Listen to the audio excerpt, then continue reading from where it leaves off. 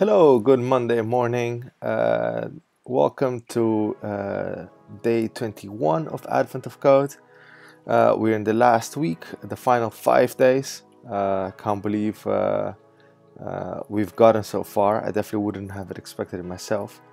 Um, before we go on with day 21, I'm going to do a quick recap of the weekend, days 19 and 20. And then we'll go on with today's puzzle. Uh, and before I do a recap of that, I also just want to go over day 18 really quick because uh, we left off last time. Uh, uh, we solved the first part in the stream and the second part as well.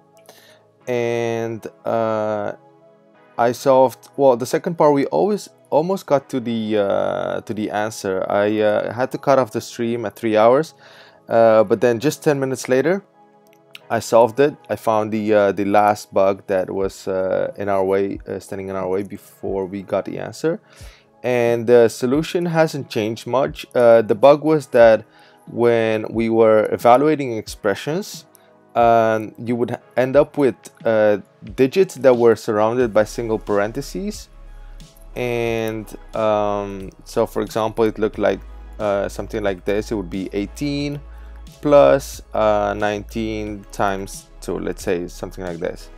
And the um, the bug was that because of these parentheses it would not do the um, precedence correctly. So in our puzzle uh, plus uh, had a higher precedence than than multiply uh, than multiplication.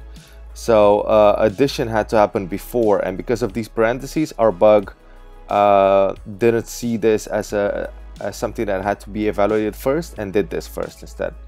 So the I solved that by uh, just adding a single line here uh, in this recursive function at the top, uh, clean expression, uh, and is we uh, basically replace we find uh, single digits inside parentheses, we remove the parentheses, and then that's our clean expression that we work with. So that was the day 18. Um, and uh, yeah, let's go on with uh, short recaps of day 19 and 20. So day 19 was about uh, monster messages. As you could see in a map, a monster appeared here. That's really cool. Uh, and it had to do with this, um, uh, with day 19's puzzle. And day 19 was, um, um, you got an input, which was a rule of messages and also uh, followed by uh, a list of messages. And you had to determine which ones uh, were valid and which were not. And the rules were specified as follows uh, for um, they were starting with the rule ID and followed by the rule spec. And in this case for example rule 4 um, it needs to match an A rule 5 needs to match a B. And other rules could could uh, contain nested loose, uh, rules inside themselves. So rule 3 would match 4 and 5 followed by each other or 5 followed by 4 and so on. Uh, and obviously our input was much uh, much larger than that. Here was an example input that I had to work with. And you had to, the answer for the first part uh, was um, how many messages completely match rule number 0. And rule number 0 was the last one in the chain of all these rules. So what I decided my approach was that um, I know that our rule set is gonna have at least well our rule set is gonna start somewhere with uh, something that we can work with. So like with a there's gonna be a rule that doesn't have any nested rules which is gonna be the top rule. In this case rule number one and and 14 had uh, something that we can work with uh, and uh, what I did is I evaluated all the other rules uh, step by step. So for example, rule number one can be evaluated to A and rule number 14 evaluated to B. And then I would go through the uh, array of rules and I would find, I would replace all the ones with, uh, with A and all the 14s with B. Uh, so that, and I would iterate over the array of rules until all rules have been evaluated. So as soon as I found uh, something that I, a rule that I can replace it with, I would replace it with. And then I would evaluate after several iterations, I would find out, uh, I can show you. So here's day 19. Um, I solved them in, I added them to into rules. Let me add a debug point here.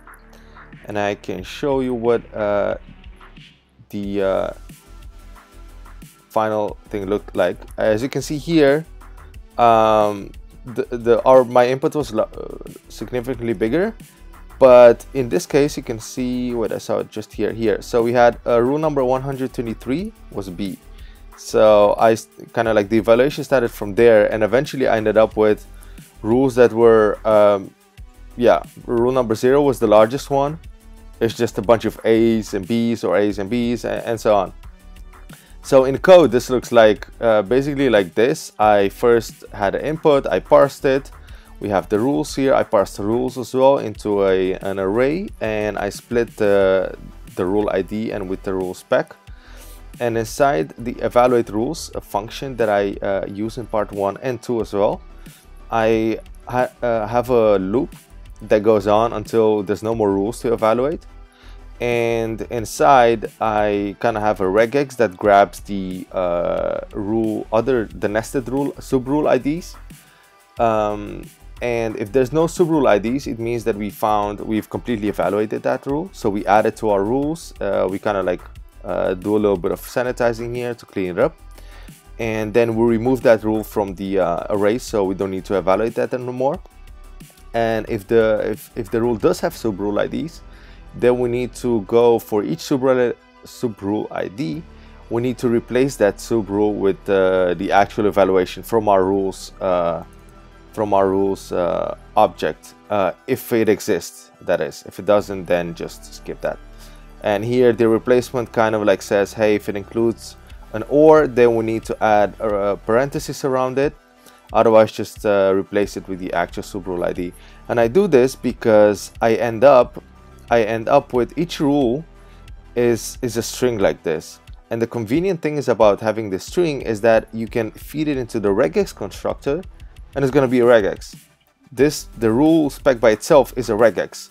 So that's very convenient because we can just use the, we can assume these are regexes and we can use that to match the against the messages uh, in our input. So uh, I had to uh, surround the subrule with, with parentheses because um, in, in, case we have an OR, then it needs to match like all possible solutions if that makes sense. Uh, and then, um, yeah, that, that was kind of like for part one. So I just evaluated the rules. I ended up with this neat uh, rules object with uh, keys being the rule ID and the properties, the, the rules themselves. And I just uh, go through the messages and I filter out the messages that passed the, uh, the passed the test, the first rule. So I kind of like pass the first rule here into the regex uh, I also make sure that uh, the beginning and the end of the strings are uh, part of, it needs to match the entire message and no other uh, extra characters. And uh, then I just count the number of messages and that was the part, uh, the answer for part one. Pretty straightforward. then part two involved something a little bit trickier. Um, it was a given from part one that there were no nested uh, there were no loops in the rules, so a rule couldn't reference itself. But in part two, it could. Like for example, here, rule number eight changed from 42 to 42 or 42 and 8. Uh, so in order to, if you would evaluate 8, you would end up with this, and then you evaluate 8, and then you would go back, and you would, uh, you could kind of like go in a loop infinitely, um, but then they uh, the, the, the puzzle explicitly said that you only need to handle the rules you have. So um, what I did, I reused the evaluate rules function from first part, but instead I just um, I figured that what I would do, I would expand rules 8, 11, and 0 because rule 0 is just 8 and 11. So it was three rules that we needed to work with. And I would expand them and on each expansion, I would um, match against the messages. And if we don't have, and I would continue until uh, there's no more new messages that we uh, are um, that are matching. So uh, we kind of like say, okay, um, ev evaluate the, the rule in a loop uh, as far as it's relevant for our input. Uh, as long as it's not more relevant, then we we kind of like stop. We don't we don't need to do go any further into the infinite territory because our infinite uh, our input is finite, and that's the only thing we care about. So what happens here is that um, I have number of matched messages and new number of matched messages, which is kind of like saying, hey, this is the number of matched messages from the previous iteration, and this is the number of matched messages from the current one. So um, I calculate the number of matched messages uh, with the rule set that we have from our first part. And then I replace the rules 8, 11, 80 with their, with their changes and I hard coded this because it was part of the puzzle uh, definition. So it was safe to hard code it. It was not give it's not it was not coming from an input or anything else. This was uh, uh, fixed. So I hard coded these rules. And then I uh, given the new rules I, um, I went through the messages again. And I uh, uh, matched those and then I got a new number. And so if the old messages is not equal to the new uh, number of messages then continue.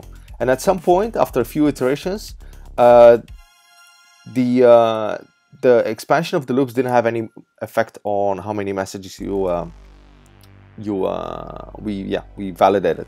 So then these two would be equal. And then we kind of like reach the answer for part two and uh, that was in this case was 424 messages uh, compared to 241 from the first part. So that was part two uh, and day 19 it was uh, relatively straightforward. As you can also see the solution isn't that very uh, uh, very long just like around 60 lines. So that was that was fine. On to day 20 uh, the uh, the monster kind of like saga continued. Uh, we were on day 20. We were already on our destination island, but we had to go through a uh, like a thick jungle, and so we were on a high-speed train. But uh, in that train, we also had to solve something because um, so the monster was like walking around on this map and swimming and uh, we had to uh, find out where it was. So we got our puzzle input for the day 20 was a um, a bunch of tiles, like a lot of tiles. And a tile would be a section of a bigger image. So uh, we had to construct the image um, eventually. But for the first part, you just got a, a few tiles and those tiles could be rotated it could be they could be flipped uh, and you had to find out like how they would uh, fit in together into the bigger image. Uh, so you had the tile you could rotate it flip it in any way so that it matched the border of the second tile. So as you can see here the right border of this tile matches the left border of this tile. And the bottom border of this tile matches the bottom uh, the uh, top bottom uh, top border of this tile and so then you had to like figure out how all these tiles fit together in one bigger image so that their borders match uh, whether they were rotated or flipped or whatever. And then the answer for the first part was the IDs of those tiles in the corner from the corner tiles. So given our uh, example input here we had nine tiles the IDs of uh, the corner tiles were these ones and you had to uh, the pro it was the product of those corner IDs so you had to multiplicate those and then you would get a big number. So the way I solved day 20 was um, I figured I was a little bit smart about this. I figured uh, corner tiles would only have two adjacent tiles.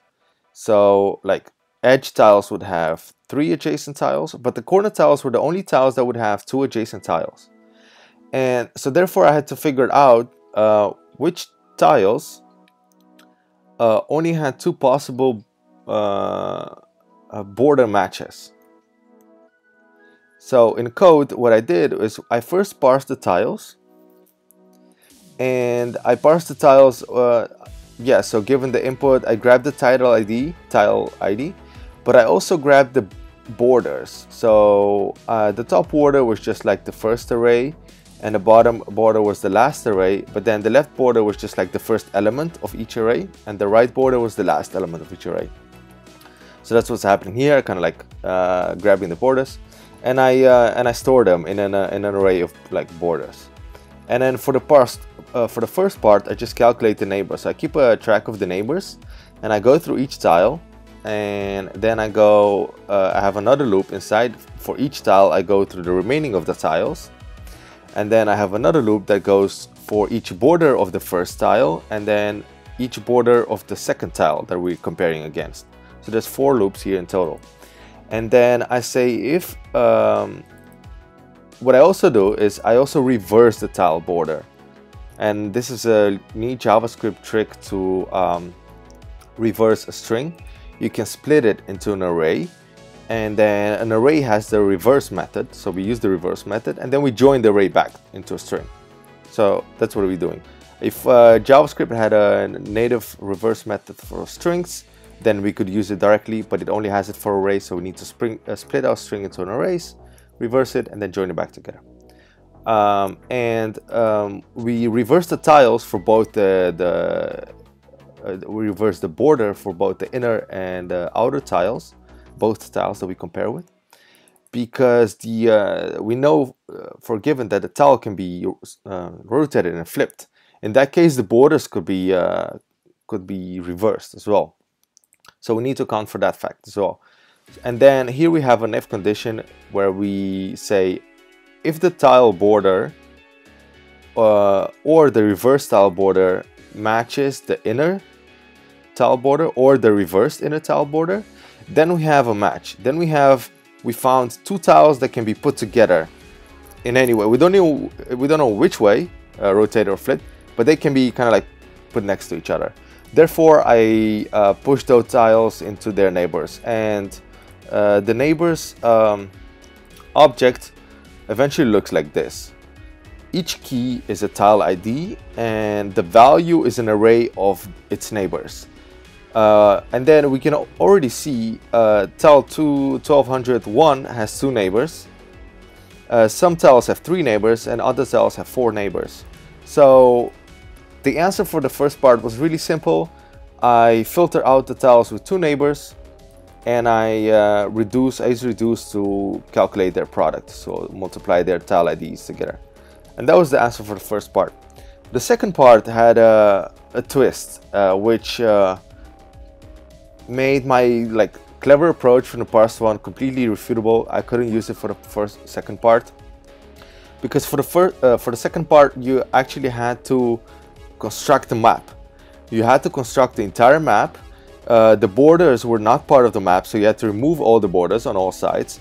And then you remove all the spaces. So given this example input, the map would look like this. We removed spaces. And then you had to find the sea monster in that map. And the sea monster would look like this. Uh, and then, so here as an example, you could see uh, the sea monsters replaced with uh, capital O's. There were two sea monsters in the map.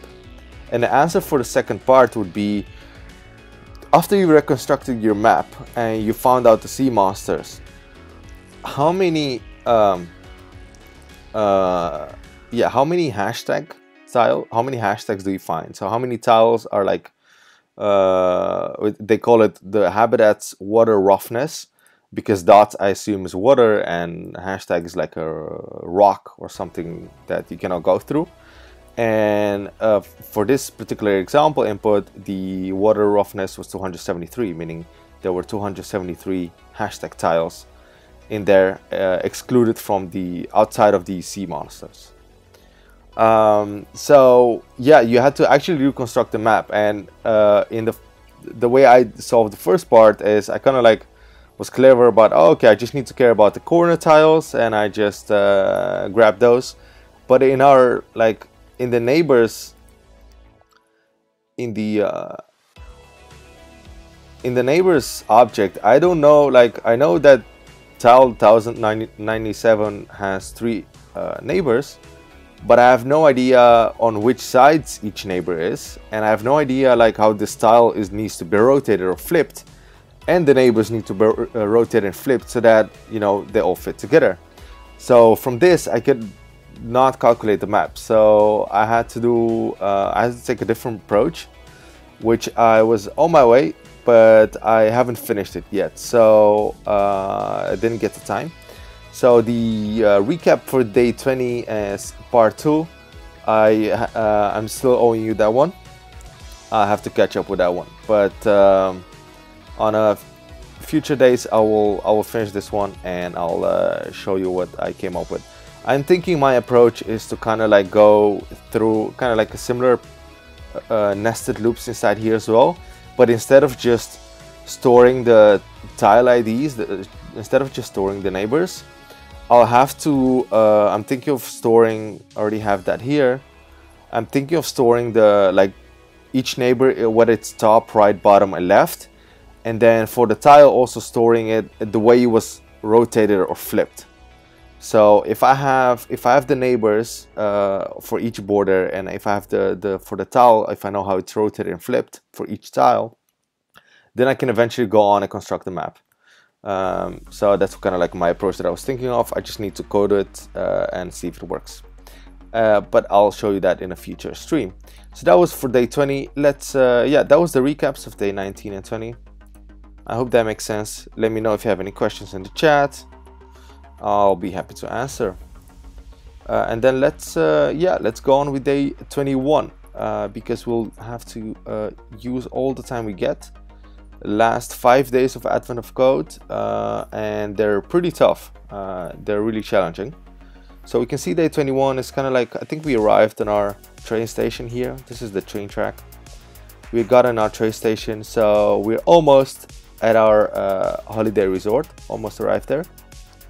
In four days we'll get there, so probably we need to take a shuttle bus or maybe a walk, something like that. All right, day 21, let's see what it is about. Uh, allergen assessment.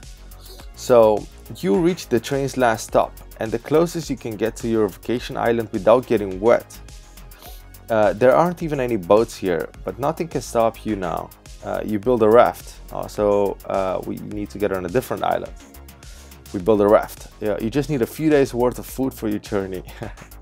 Uh, you don't speak the local language, so you can't read any ingredients lists. However, sometimes allergens are listed in a language you do understand. You should be able to use this information to, determine which ingredient contains which allergen and work out which foods are safe to take with you on your trip because we're apparently allergic to some stuff. You start by compiling a list of foods, uh, which is the puzzle input for today, is a list of foods. One food per line. Each line includes that food's ingredients list, followed by some of all some or all of the allergens the food contains. Alright, each allergen is found in exactly one ingredient. Each ingredient contains 0 or 1 allergen. Allergens aren't always marked, so that's important to know. When they're listed as in contains nuts, shellfish, after an ingredients list, the ingredient that contains each listed allergen will be somewhere in the corresponding ingredients list. However, even if an allergen isn't listed, the ingredient that contains that allergen could still be present. Maybe they forgot to label it, or maybe it was labeled in a language you don't know. Interesting. For example, consider the following list of foods. So it's some, so we get some random strings here, and then we get between parentheses we get the allergens. Uh, not all allergens, but some of them. So contains dairy and fish. The first food in the list has four ingredients written in a language you don't understand. While the food might contain other allergens, a few allergens of the food definitely contains are listed afterwards, dairy and fish. The first step is to determine which ingredients cannot possibly contain any of the allergens in any food of your list. So I have to filter out the ingredients that uh, uh, the ingredients. So the entire line is like a food item and each uh, consisting of ingredients and the allergens of those ingredients. So I need to filter out the ingredients, so individual stuff like these, uh, random strings that uh, cannot possibly have allergens inside them. In the above example, none of the ingredients KFCDS, this one, NHMS, uh, and so on, can contain an allergen. Counting the number of times, I wonder why though. I'll, I'll go to that in a bit. Uh, counting the number of times any of these ingredients appear in any ingredients list produces 5. They all appear once each except SBZZF, which appears twice. Alright, so when I filter out the uh, ingredients which cannot contain any allergens, I need to count them, how many times they appear in total in the entire list, and that's going to be the answer for the first part. Determine which ingredients cannot possibly contain any of the allergens in your list. How many times do any of those ingredients appear? All right, and uh, something I haven't really uh, understood is that how did they figure out which allergens cannot possibly contain any, uh, which ingredients cannot possibly contain, contain any allergens? Probably it's in the description here. Uh, uh, uh, uh. Here, each allergen is found in exactly one ingredient. Each ingredient contains zero or one allergen. So, if I'm assuming correctly, we know that an allergen maps to one ingredient, one-on-one mapping. An allergen cannot be found in more ingredients than one, and one ingredient cannot have more than one allergen. So it's kind of like one-to-one -one mapping. So given that, we know that, for example, here we have two ingredients and we know that there's a soy allergen. So then we know that either this ingredient or this ingredient has is uh, uh, uh, uh contains soy. Uh, and then given a larger input, well, like here we can go, yeah, uh, a larger input dairy, we know that either one of these four allergens contain dairy. And then here either one of these four contains fish. And so on. So I guess you could say, let me see. Uh, we can look at, for example, fish. So either one of these three can have fish and either one of these four can have fish. So we can do an AND operation and we can exclude ingredients that are not in both these uh, these uh, foods because we know if an ingredient is only in this food and not in this one or vice versa then we know that ingredient cannot be cannot have the allergen fish otherwise allergen fish wouldn't be displayed here so uh, let's see this one is present in both this one is not so we exclude that one this one is present in both, and this one is not. So fish must be in either this ingredient or in this one. Uh, so we eliminate this one. And then we can do the same thing for when we compare with dairy. Instead with dairy, we can say uh, whatever is in here must not be in here. Otherwise, this food item would also have fish uh, allergen.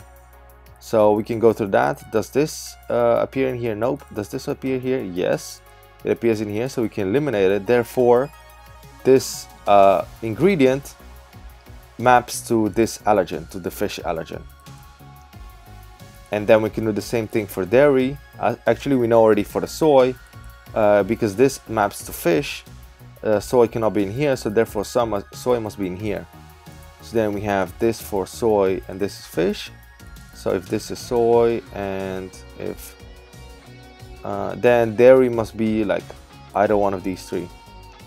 So that's kind of like the process of elimination that we have to go through. And then we're going to be left out with uh, ingredients that don't have any allergens mapped to them. We need to save those uh, and then we need to count how many times they appear in our input. And that's going to be our uh, solution for today. So let's grab our puzzle input, which is huge. let's save it uh, day we're gonna save it in our working directory here day 21 uh, that's great we have 43 food items and some of them have a lot of ingredients And then at the end, we have uh, a list of allergens in parentheses. And those aren't that many.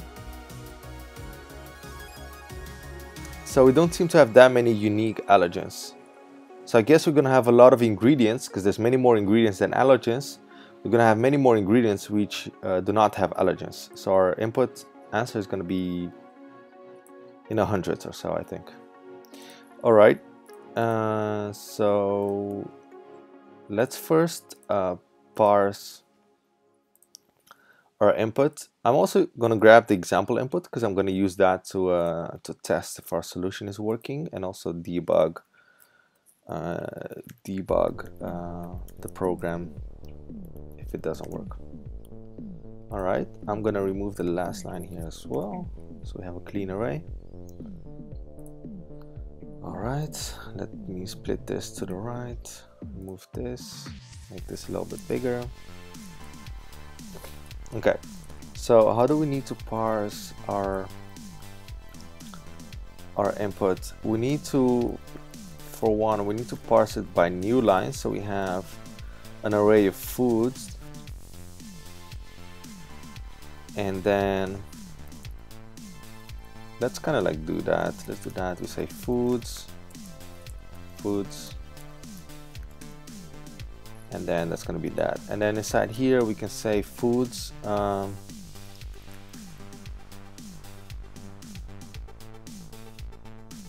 foods uh, map.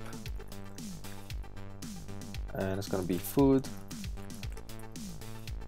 And then we can say food splits by a space and if we split by space we're gonna have an array of ingredients. And the last item of that array is to be the allergens so we can uh, do it like this const. We can use array destructuring in here and we're to say the last item is to be allergens but the oh wait a second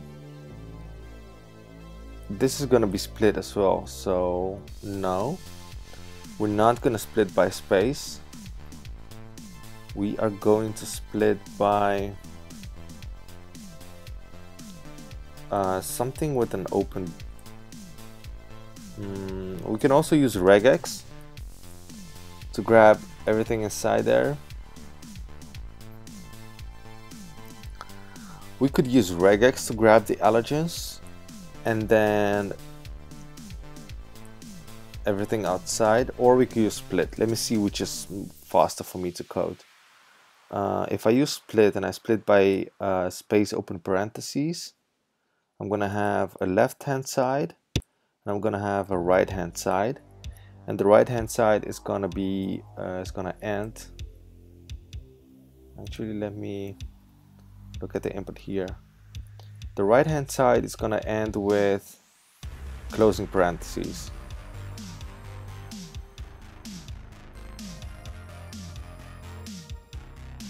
And then oh wait I also know that each allergen list uh, kind of starts with contains the word contains. Yeah contains and the actual allergen is after that. So I could even split by um, space open parentheses contains uh, and space and then I'll have to just remove the last parentheses and then split by comma space to get the allergens. I think I'm gonna do that. It's a little bit easier. Let me just uh, quickly uh, uh, let me quickly see if that'll work. So I'm gonna select this part that I want to split by and then that's a neat thing in VS Code. VS Code is gonna highlight all the occurrences of what I've just selected. So I can just go on through the list, go through the list and see if that uh, appears in every every line and it seems to it seems to appear in every line. Yeah. So then we can use that to split all the elements with because we know that's going to repeat for each element. So let's do that. We're to split by open parentheses contains space and another space in the beginning. Great. And then we're gonna get the left hand side is gonna be ingredients. And right hand side is gonna be unparsed allergens. Because we'll need to parse this. So I'm gonna say const allergens is unparsed allergens. And I'm gonna have to remove the last closing parentheses um, which is always the last item anyway so I can slice the array by minus one. And I think that's gonna give us a clean uh, a, string without closing parentheses and then I split by comma space and then we should get an array of allergens so let's uh, uh um, Let's confirm that our parsing is working before we go on. Let's assign this to a variable, uh, just foods parsed, I don't know what to call it. And then console log, I'm just adding a console log here for, I'm not really using it, but I'm using it to add a breakpoint. Let's make this a little bit smaller. And then run our debugger. All right, let's see what it looks like now. Undefined. Okay, so that, oh wait, because I'm not returning anything, of course. And then return, uh, what I'm gonna return. I'm just gonna return an array with ingredients, the first item, and allergens, the second item. Yep, let's run again. All right, so we have uh, an array of elements and each element is a food item, food item. And that food item is another array uh, which consists of ingredients. Oh I need to parse these as well. Let me parse those as well. So let me rename this to um, unparsed ingredients. And I'm gonna add a line here. I'm gonna say ingredients is unparsed ingredients not allergens split by a space Let's have those in an array as well. Alright, so we have two arrays, that makes sense. First array is the array of ingredients and the other one is the array of uh, array of allergens. And I already can see a bug because the array of allergens is only one item. So let's see what's going on. First array is array of ingredients. That looks good. Second array is oh closing parentheses. So our slice isn't working as expected let me pull up the docs and see what uh, the slice actually does. I thought it was minus one and then it would go uh, at the end of the array. Returns a shallow copy, which is good. Start to end and not included, where start and end represent the index of items in that array. Okay, so if start is a negative, a negative index can be used, indicating an offset from the end of the sequence slice minus 2 extracts the last two elements. Oh, okay, so it's only that element. Okay, so I need to instead, I need to, I know I can use another different, but instead it needs to be, instead of uh, minus 1, it needs to be from the beginning until the last one. So I'm going to do unparsed allergens length minus 1. I think that will do. Yeah, seems like it's working. So we have uh, an array of allergens, wet sesame nuts, fish, dairy, sesame, peanuts, dairy, fish, eggs. It looks good. Awesome. So uh, we have something that we can work with now. We have something we can work with now. What I'm gonna do is, uh, can I just copy value and kind of like I'm gonna spin up my playground RunJS let's get oh why did I close it? Let's get rid of everything inside here. I'm actually making the same mistake. Or oh wait it's closing by itself that's not good. Is it? Okay. Um, it's kind of like a huge array tool. Um, because I wanted to like paste this in here to have it like to see it. I don't have to do it here. I can just make a new um,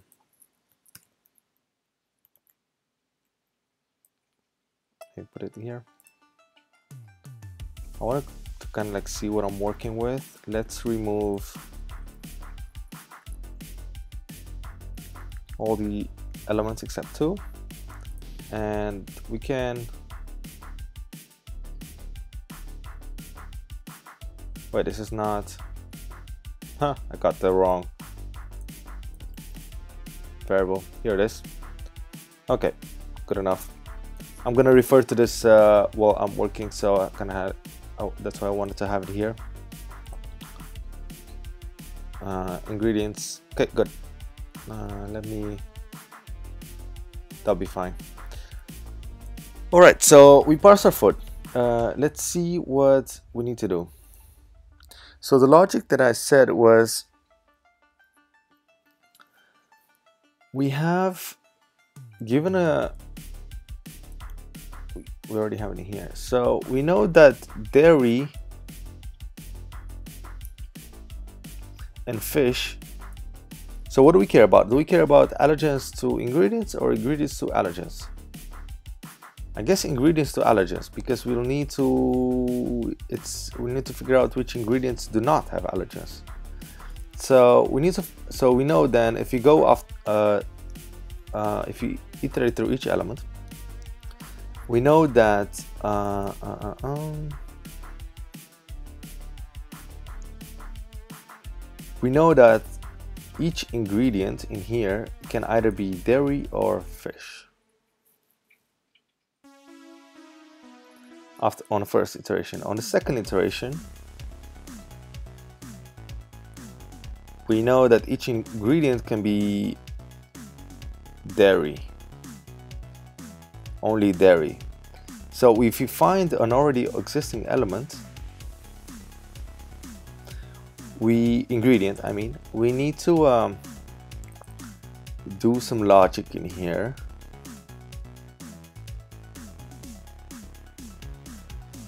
We need to say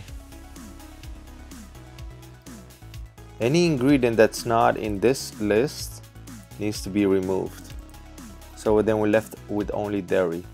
So I'm kind of thinking I'll need to have a data structure that will have I could use a map or just an object that would do as well that would have the keys of that object be the ingredients and the values would be an array of possible allergens. And as I will go through the array I will um, the, the, the values of each ingredient, so the possible allergens of each ingredient, will fil be filtered out and will change until eventually one is left. I think. Uh, so maybe that's what we can start with. So let's have our object in here called possible allergens.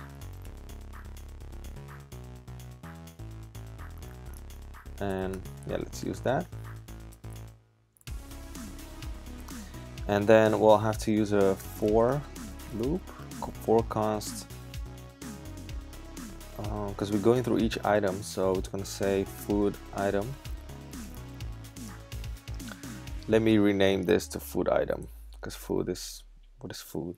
Food item. Better. So as we go through each food item uh, foods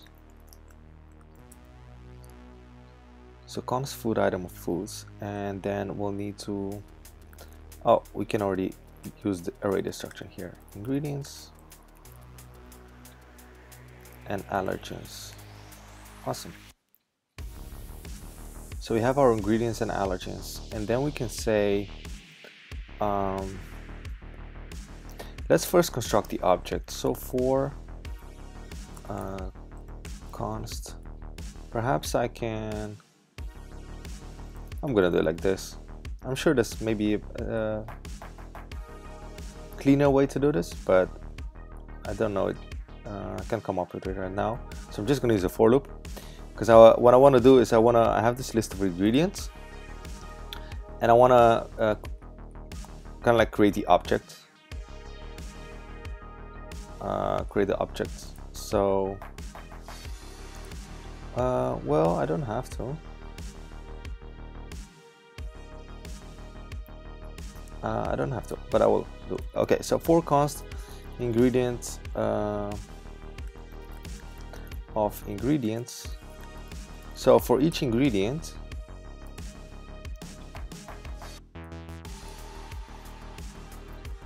for each ingredient, I can say if that ingredient doesn't exist,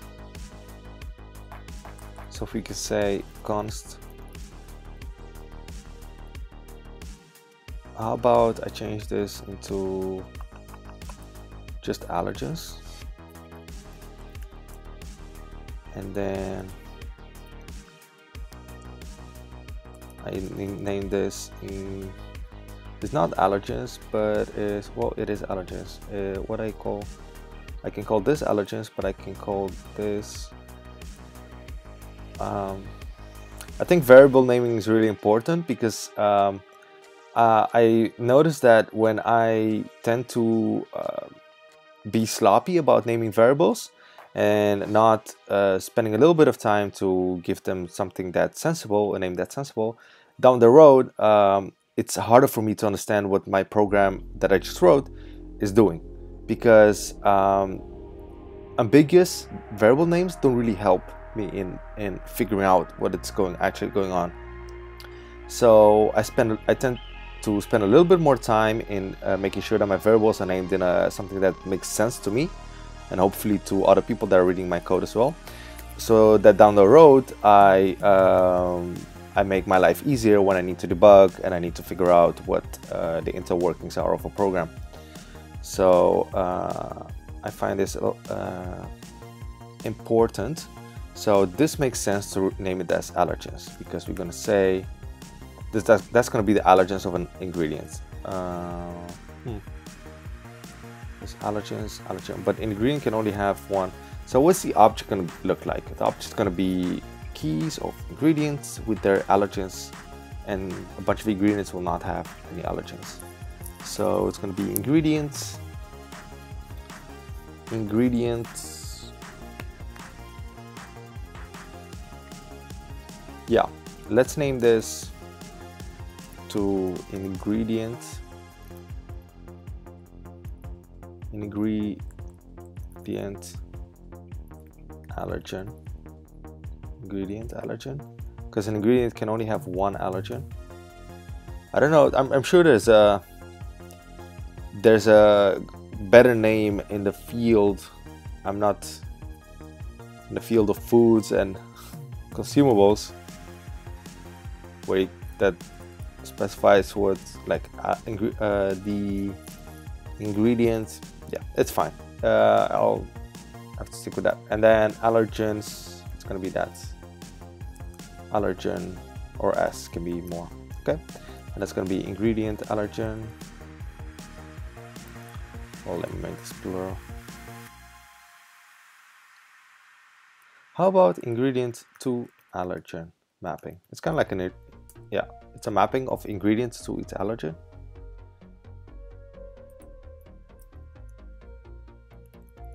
Now we can, yep. And then we're gonna have, uh, let me see which ingredient, this one. So if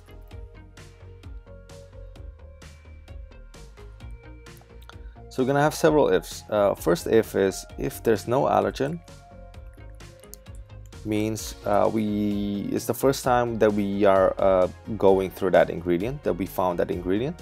So let's just uh, add the allergens of that ingredient. So we can say ingredient to allergen is equal to ingredient uh, all right is equal to uh, the allergens. Just like that. Yeah just the array of allergens Otherwise, uh, if there is an allergen, which means uh, that we now have to, how about I do an else if allergen is small?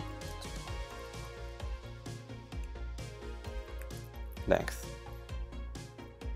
uh, is bigger than one so if, if uh, the allergens are more than one then we need to do something. If it's just one then we I think we actually found that allergen for that ingredient. Uh, no we didn't.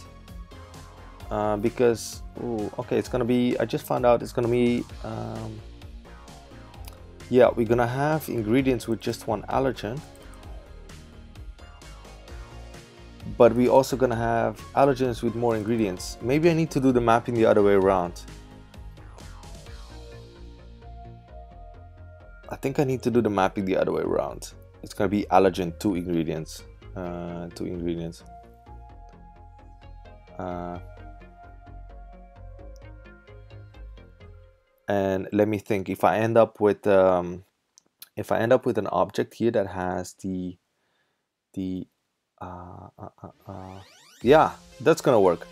If I end up with object here that has a keys being the, the allergens and the values the ingredients then I can go over through my uh, list of ingredients and I can say I can I can do a lookup.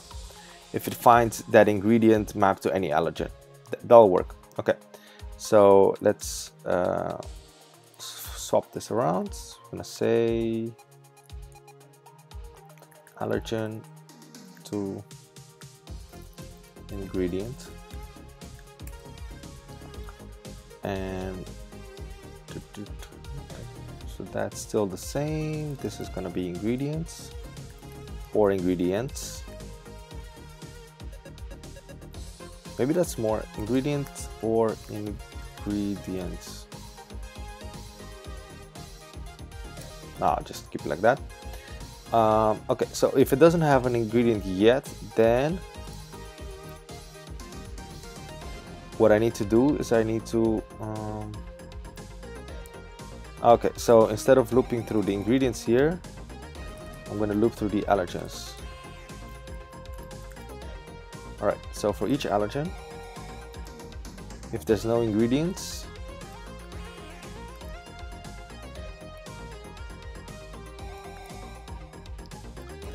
then uh, the possible ingredients for that allergen will be just a array of ingredients. And if the allergen does have more than one ingredient, then we kind of need to um, Okay, so what? Uh, so if the allergen already has more than one ingredient, so for example, on our second iteration, we're gonna have dairy, and dairy we already found it before. It can be these ingredients. So what we need to do is we need to exclude any ingredients that aren't present in this current list because then we excluded them for not uh, being possibly related to dairy. So in code, that's gonna look like um, allergen to ingredients. Allergen equal to ingredients.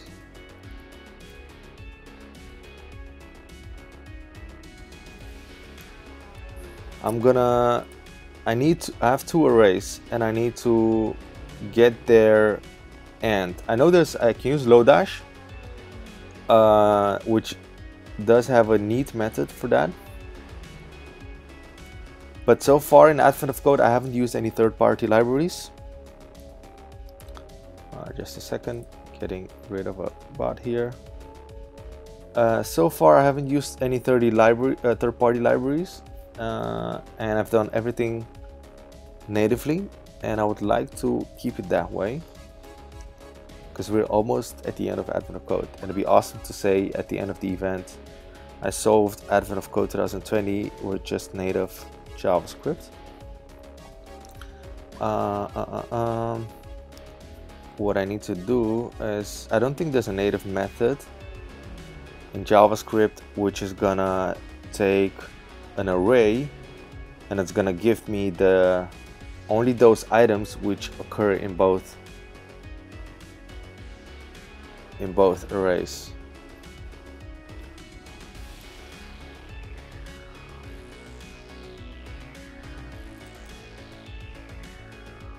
This one happens in there. Yeah, because we can also exclude we can also exclude this one because this one is not in here. And if this one would be dairy, then this food item would not have dairy as a allergen. So yeah, we only need the items that are present in both arrays. Only need the ingredients that are present in both arrays. I know includes, but includes except, um, yeah, accepts one value, accepts a single value, doesn't accept it would be awesome if there would be a version of includes that accepts an array as an argument. Uh, I can do a filter. That will work. I can do a filter. Let's see. Mm -mm.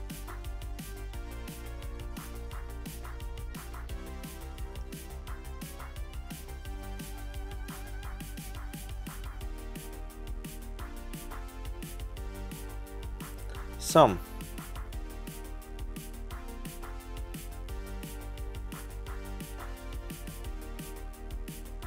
No, yeah. I'll do a filter, that'll work. Okay, so do, do, do, uh, maybe so it's gonna be ingredients. What are we looking at here? Ingredients of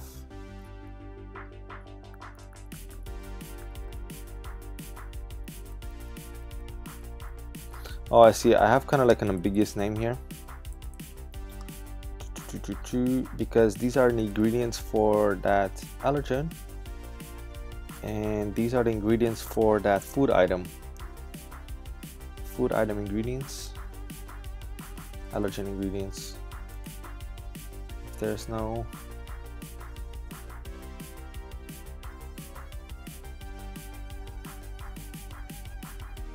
okay I'm gonna rename this to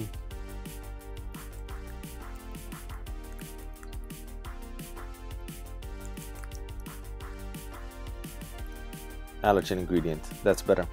Okay uh, therefore uh, allergen ingredient is gonna be um, in allergen ingredients ingredients uh, filter because we know it's more than one so filter.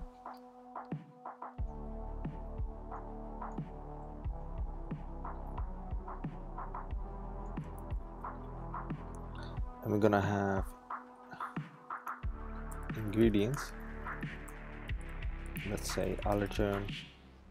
Let me kind of like get rid of this one to the right so allergen ingredient um, yeah I'll need to have this plural because when I'm gonna map it's gonna be singular. All right um,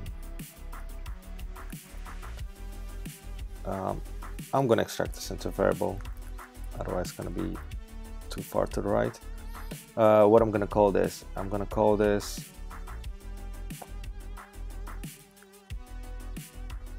new allergen ingredients. For lack of better naming and then uh, allergen ingredients filter allergen ingredients. Allergen ingredients includes maybe I can put this to the second line because so we can see includes um, uh, no the other way around. Ingredients includes allergen ingredients. All right. And then new allergen ingredients that here. Good. And what do we do if we found if there's only one? Well we don't have to do anything do we? So let's say for example we are here on our second iteration. After this we uh, we end up with uh, this appears in both. Okay so we after this iteration we know that we're gonna end up with dairy having only one ingredient. So what if we found if we found dairy in a different um,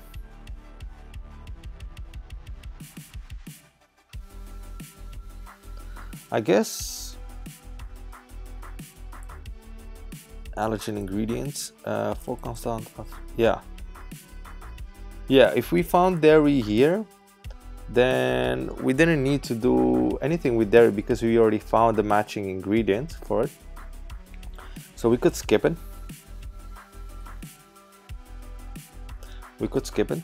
Okay uh, let's see what this uh, gives us. Uh, we have a breakpoint here we have uh, our variable. I want to see what will happen if we run the program.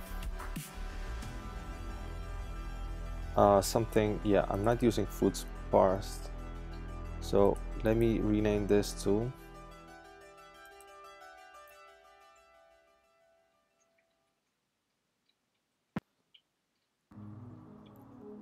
foods unparsed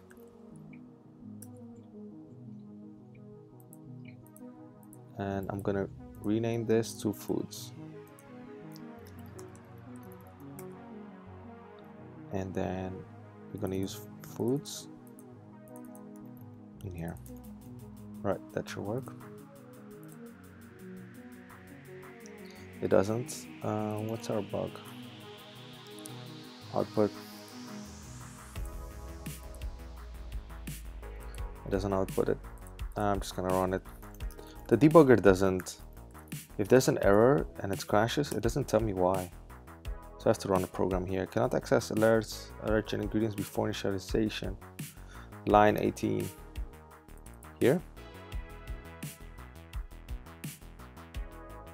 Oh we have a name clash. We have a name clash and that's interesting because it should be this allergen to ingredients yeah. Okay. Let's run again. Okay runs without errors. So let's see what we end up with here.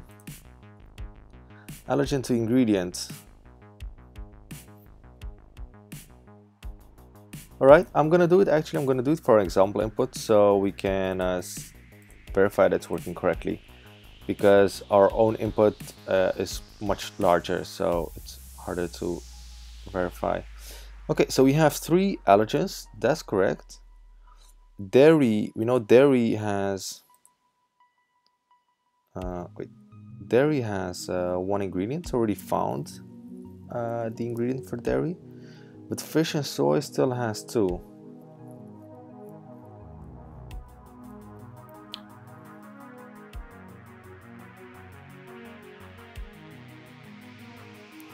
Something else that we need to do is if um,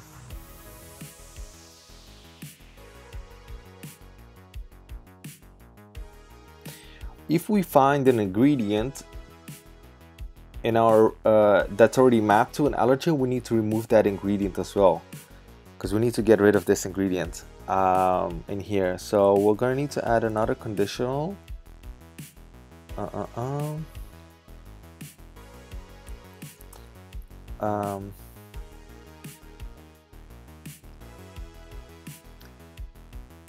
what would be neat is to grab all the ingredients that have already been uh, mapped. Or no I can just go through ingredients yeah which I am in here. Actually I can do this at the top. I can do this at the top. So for each ingredient Oh no, this is for each food item. Uh, this is for each allergen.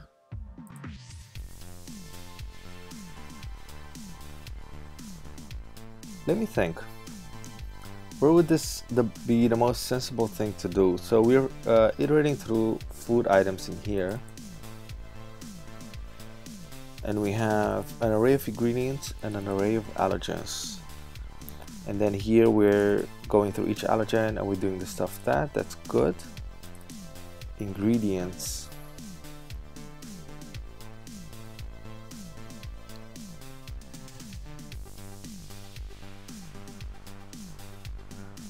Uh, I guess I could have another for loop that loops through each ingredient as well. Or maybe I can avoid a for loop.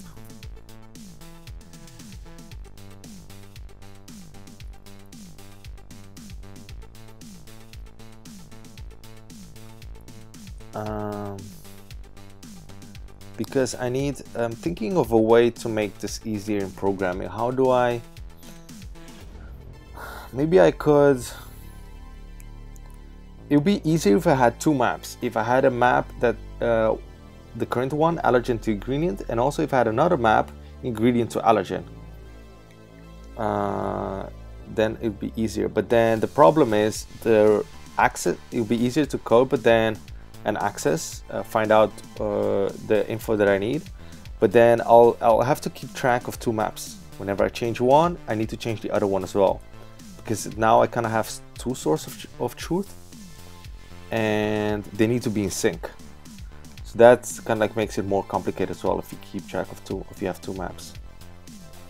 So maybe I can avoid that by just saying, um, I mean, I could go through the allergen to ingredient map and filter out and, and create an array of ingredients that only have the that have already been mapped to their allergens.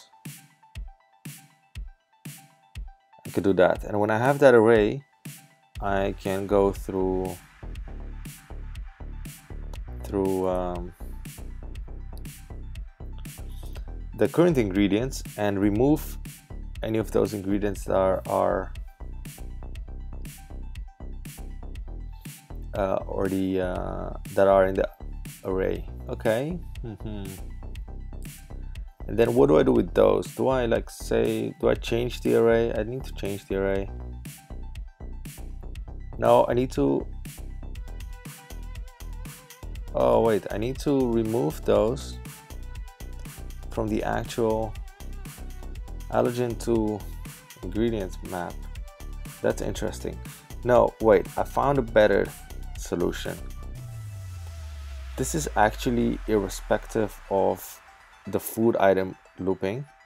So here,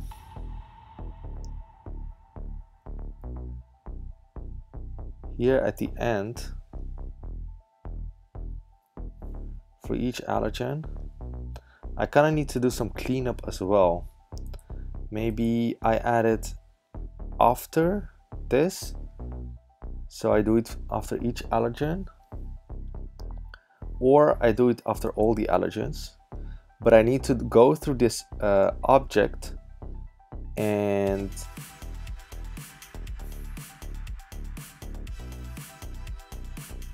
yeah I'm gonna I'm gonna go through that object. Yeah this is what I'm gonna do I'm gonna go through that object and I'm gonna have another object that actually has the definite values for ingredients to map. And I'm gonna use that to kind of like filter out those. Yeah. Okay so this is gonna become clear in a little bit. Uh, I'm gonna do this ingredients to allergen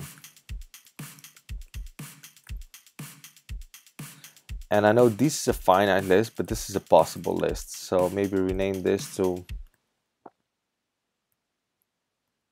allergen to possible ingredient.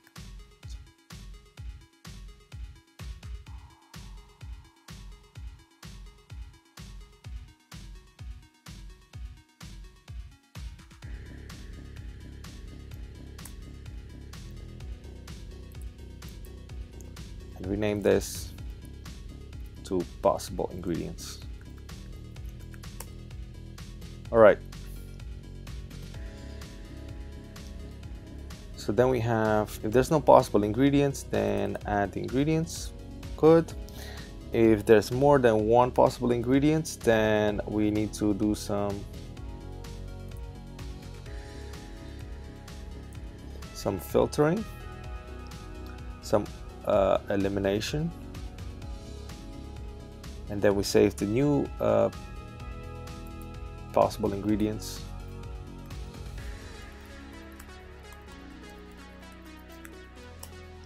New possible ingredients uh, to that one. That's good. And then do I do it? Let me think. Do I do it after so after one after we went through this allergen we're gonna have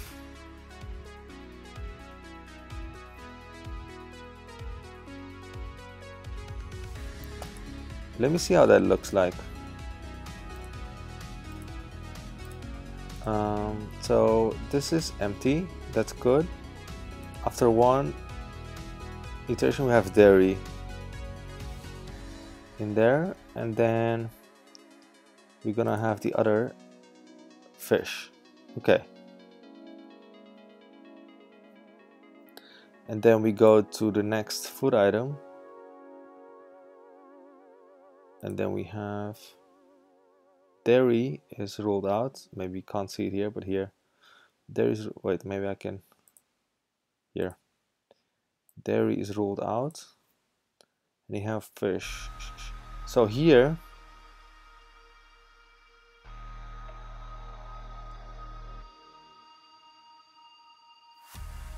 I need to insert the code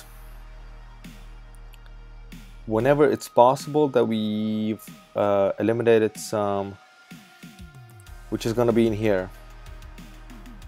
Whenever there's a possibility that we found a match between an allergen and an ingredient that's when we need to add our code that's going to do the clean up uh, which could be here. If yeah which is exactly here. Well it could be there. Uh, otherwise it's already one what I can do after that if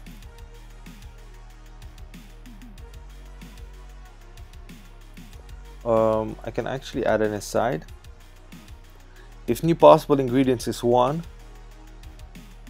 that's yeah that's a smart thing to do actually. Whenever this is one we found our ingredient. So if new possible ingredients uh, length equals 1, we found our ingredient. So we remove that ingredient from all the other um, allergens.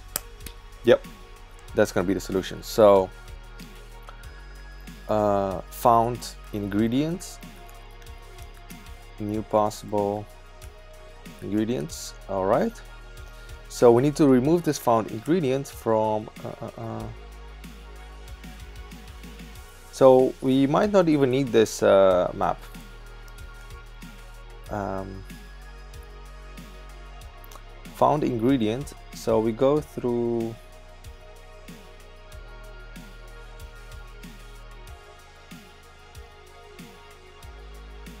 uh, let me see.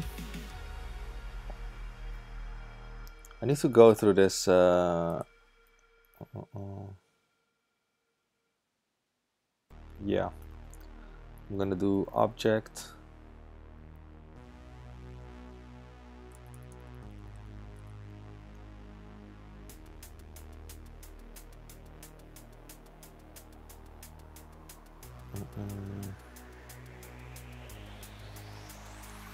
object values. Will that work? Let me see. Not sure. Object values. Poss uh, allergen to possible ingredients and that's gonna give us possible ingredients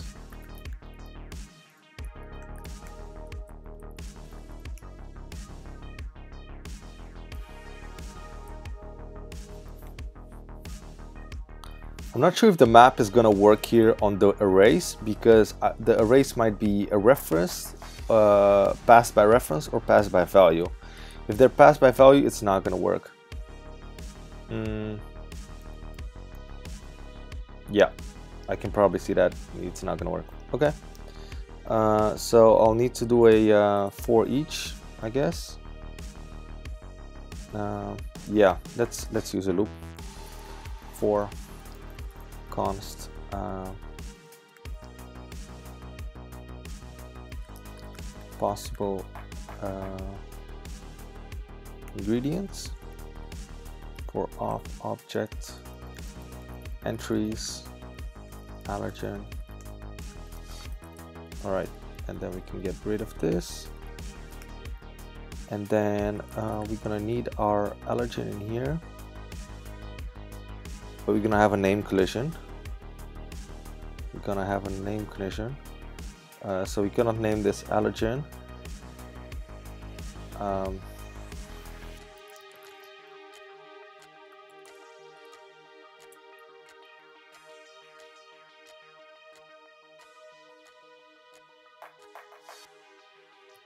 what do I call this? Inner allergen, nested allergen, another allergen. mm. Allergen, because we're gonna clean this allergen. Uh, we're gonna allergen to clean up. Allergen to clean up. Maybe if I rename this to a how about if I rename this to uh, food food allergens and I rename this. Uh, food item allergens. Food item allergens. That's good. Now rename this to food item allergen. Food item allergen. There we go. And then in here we can just uh, use allergen that'll be fine. All right so um, we say allergen to possible ingredients. Allergen is gonna be possible ingredients without um, without this one. So we can say filter possible ingredient so let's yeah possible ingredients. And possible ingredients is not equal to um,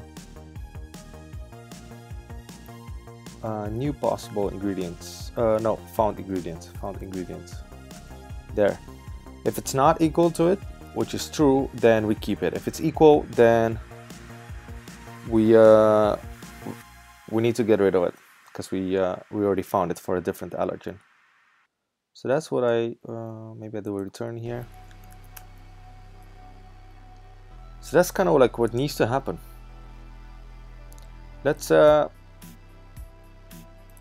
let's see if uh, it's working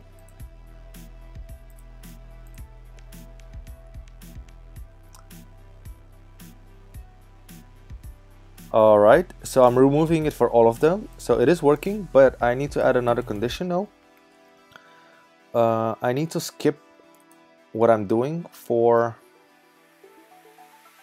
so I'm going through all the allergens found an ingredient. So I found an ingredient which matches to an allergen and I'm going through all of them, but I need to skip the, uh, the current allergen.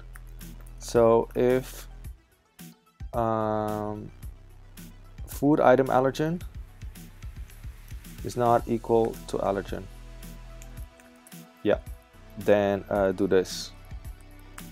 Otherwise, uh, not because otherwise we're gonna remove the current ingredient from the current allergen, which we just which we just added. So we want to avoid that.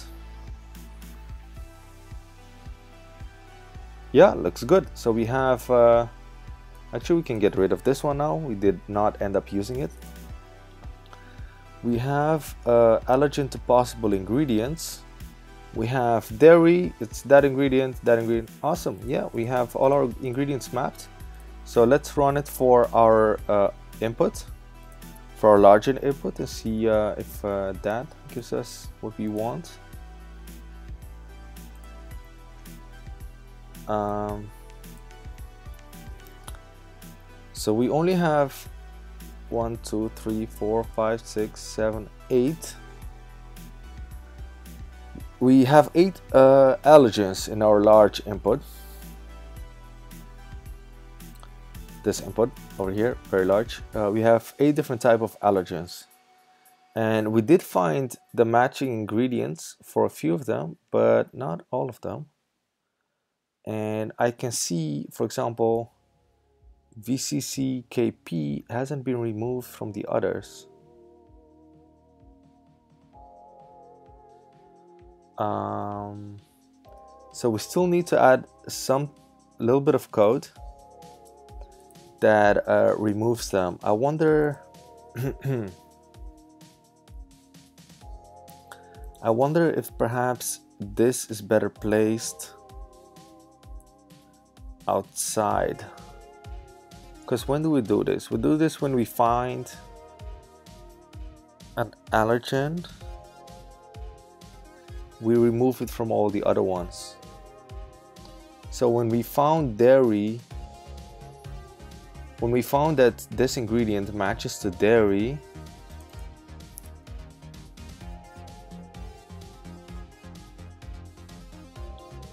uh, we should have went in and removed it from all the others. But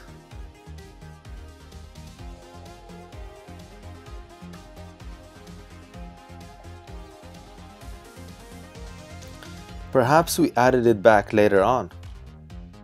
That's a possibility yeah.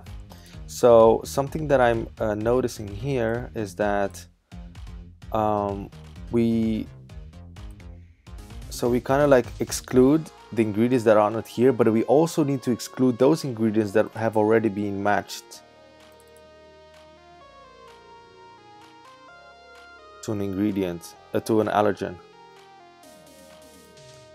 So that's a better place to place it.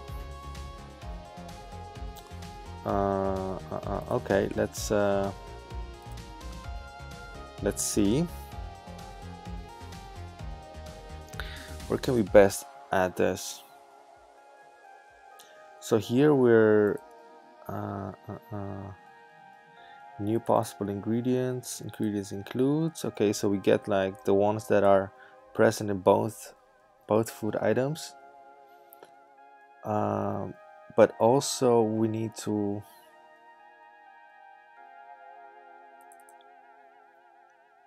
allergen ingredients. Uh, uh, uh we might need that mapping after all. We might need that mapping after all. Uh,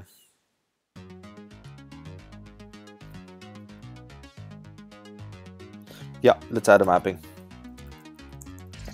because I'm gonna use it uh, in the in here. I'm gonna use it in this filter.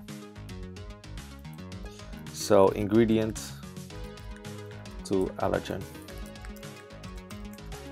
and what I'm gonna do is uh, when we found an ingredient we can add it in here. So we're gonna say ingredient to allergen food ingredients. Oh no found ingredients. Yep. Is equal to uh, so we found our ingredient and which allergen is it? Food item allergen I guess. Yep. Good and then um, in here I'm gonna say uh, includes and is not present. And is not present in uh, already found ingredients. So ingredient to allergen uh, not present uh, current ingredient, I guess. What are allergen? Allergen ingredients. There. I think that should do the trick. Let's uh, debug again.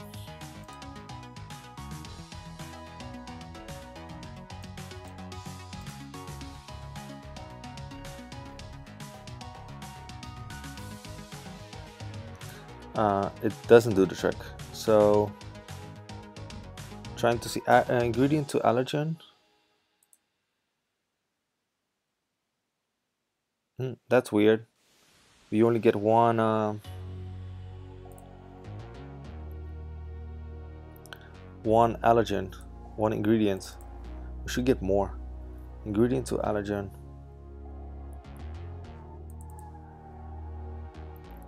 New possible ingredients length zero. Filter includes, yeah, and is not present. Yeah.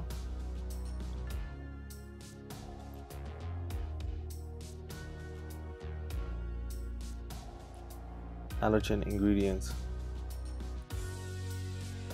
is not present in ingredient to allergen. Yeah, and the new possible uh, ingredients is length one.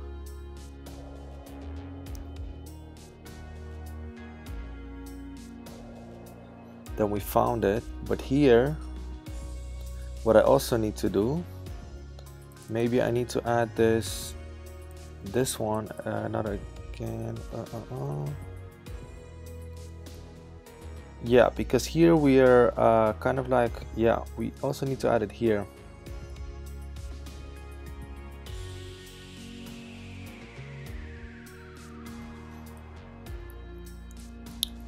Here at this end. Uh, if whatever. So if this uh, length is equal to 1 then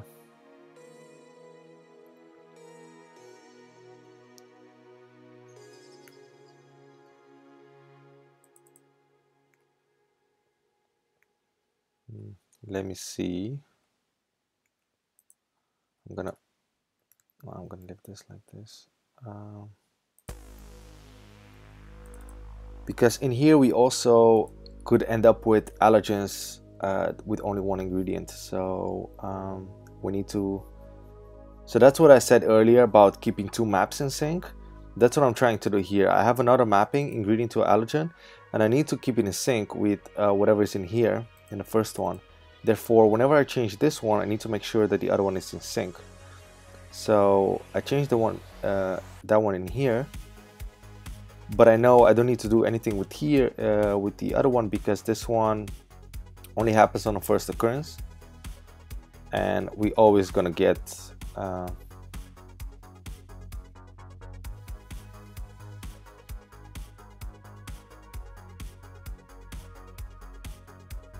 we're always gonna get um, multiple arrays so we don't need to care about that here but when we change it here uh, we say if it's equal to one then it's actually we need to change here but we also change it here therefore um, if we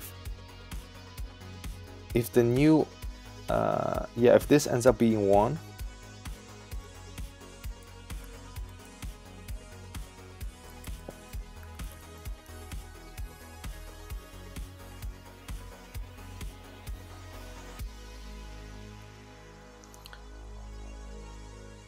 if this ends up being 1 which I kind of like do it here um, length equals 1 then I need to add that uh,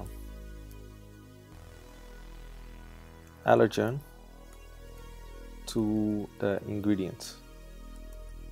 And it's gonna be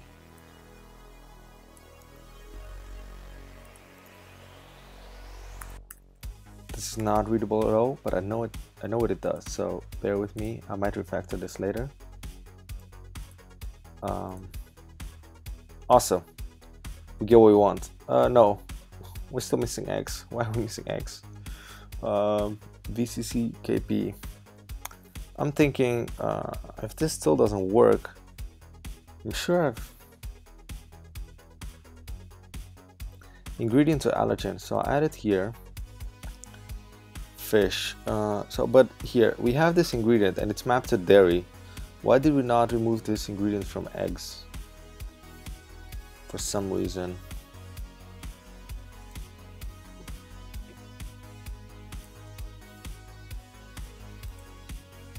For some reason. Okay let me uh, go through my logic. Somewhere I'm not uh, I'm not doing things in the right order so I'm gonna add some comments to make it clear for myself. Um,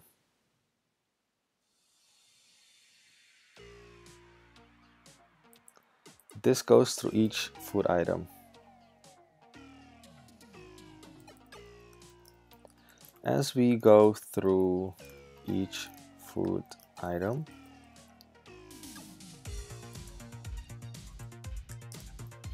we go through each food item allergen. All right. Um,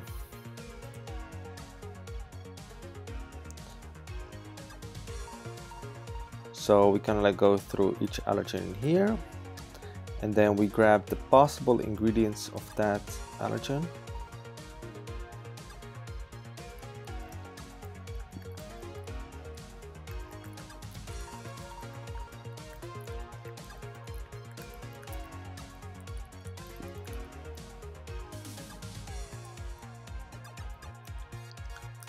first time time we encounter allergen.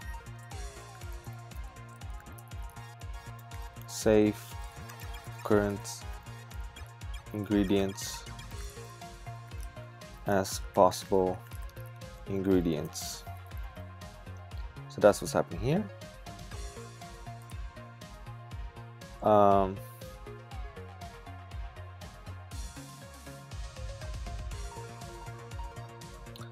all right um, what we're doing here is we are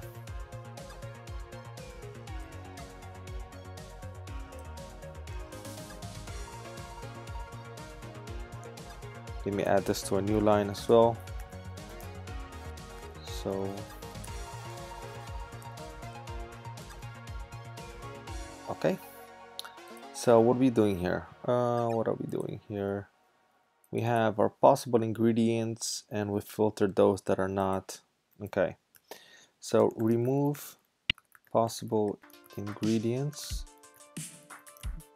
that aren't present in current ingredients. And therefore therefore cannot be associated with allergen. Therefore, how do you spell therefore? Therefore, therefore, no idea. Okay. Uh, so we have our new, and also this uh, new move possible with our communities, or have already. Oh as I type this I'm realizing maybe I should do this in a different section. Let me see.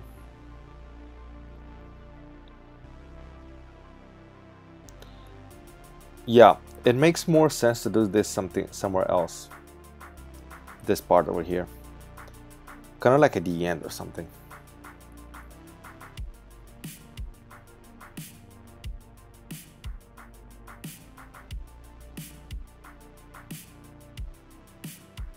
because here we're also removing the ingredients that have been mapped to current allergen.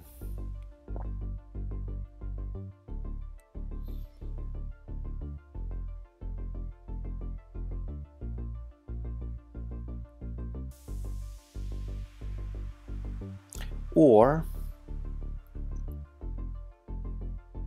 or I switch this arrays uh, around these two instead of going through the possible ingredients I go through the ingredients. Uh, yeah I'm gonna try that.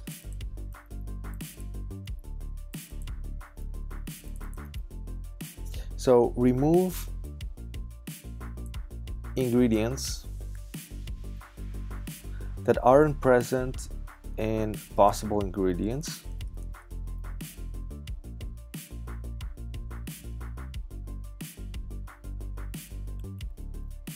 No. Mixing things up here. No. That won't work. That won't work. Yeah. So I'm gonna have to remove this and do it somewhere else. Let's just paste it here. I'm gonna reuse it. Uh, I have to do this somewhere else. Um, so what I'm saying, remove possible ingredients that aren't present in the current ingredients and therefore cannot be associated with allergen. Yeah.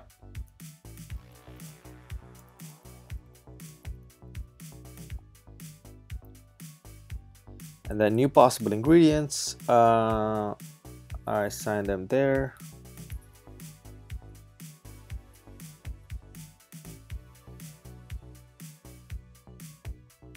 New possible ingredients and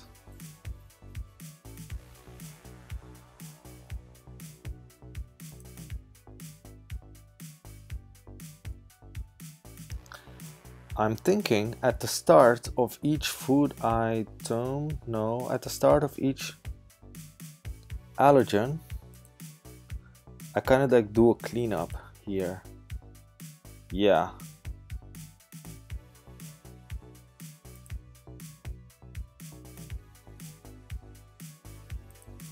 Okay, let's um and that's what we're doing here so that that's clear um, I'm gonna go to that in a little bit. Uh, found, what does this do? So found a an ingredient. Uh, found an uh, a matching ingredient. Found a matching, yeah, a matching, a matching ingredient of this allergen for this allergen. Okay, and so our allergen is what are we looking at here? Food item allergen. Good, so new possible ingredients equals one food ingredient. Uh, and then we kind of also remove that.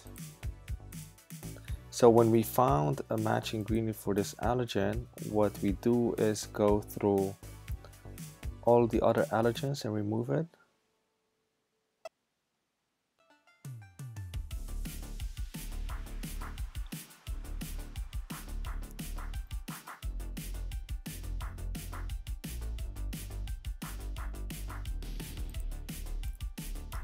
Remove this ingredient from other allergens.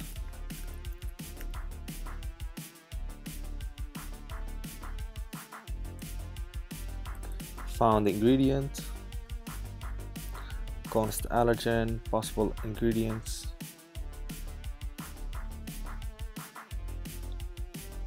We have a name clash here there's two possible ingredients.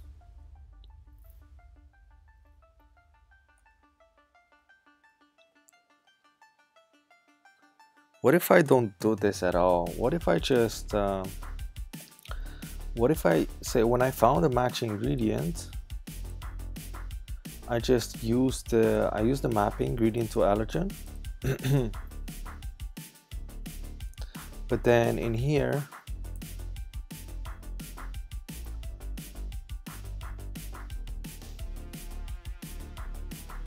kind of like at the end um, I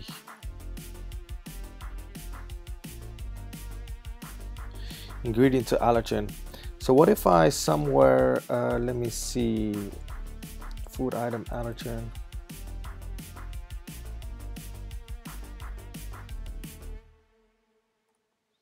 Um, what if instead I do this um, let's see uh, food item allergen as I go through each allergen at the end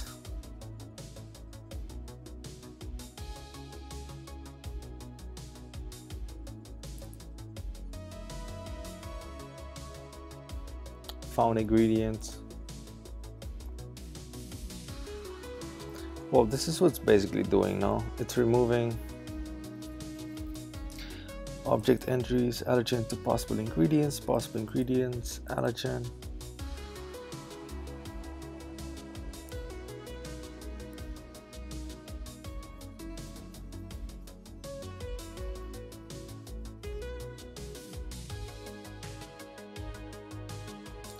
instead of doing this we can say possible ingredients allergen to possible ingredients. And then we can do a filter here. Filter. Possible ingredients. Um, let's add this to a new line. Possible ingredient is not found in uh, ingredients to allergen. Yeah, that'll do, no? What if I, so if I just get, let's comment this out.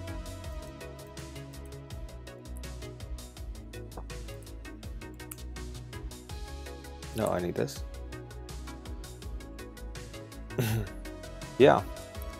Because now instead of doing this at the end every for each allergen and then go through all the allergens when you find what if I just do it at the beginning? So when I get the possible ingredient grab possible ingredients of allergen uh, and exclude those that have already that already have an, uh, an allergen that have uh, those that have already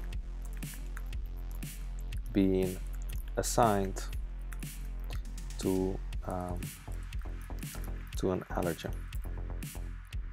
So I do that already here. So therefore, okay, that make, that makes uh, sense so far for me. Let's see if that fixes our. Well, there's a error. So we can read property filter of undefined line 26. Oh, I see because this can be zero as well. Mm.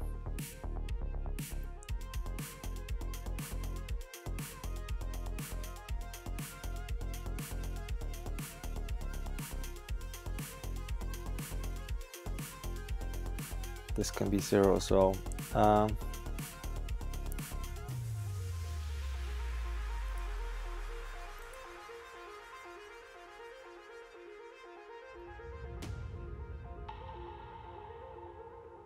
And I just found something else. I also need to filter this part. All right. Uh, I'm gonna move that in here.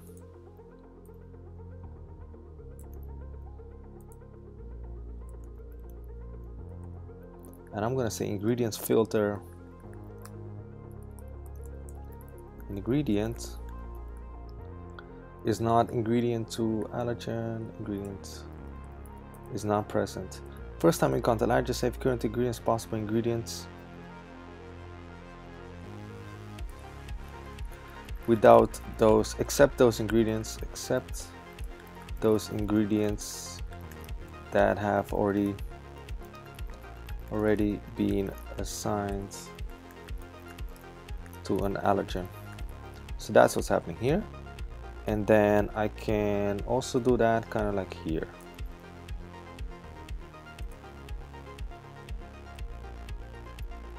And I'm gonna have some filters that's fine. That's fine.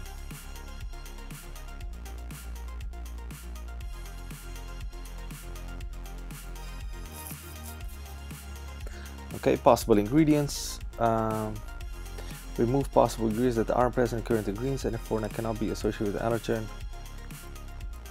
that aren't present in current ingredients or or have already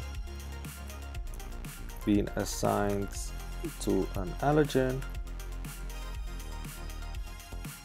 and therefore cannot be associated with allergen. Awesome. Awesome. Okay, this should, let's see if uh, we have errors. No. Allergen to green is not defined. Spas, uh, yeah, because it's here.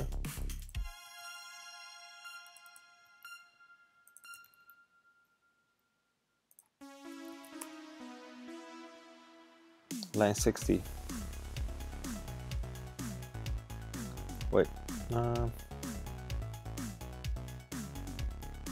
why did I rename that? Possible ingredients yeah.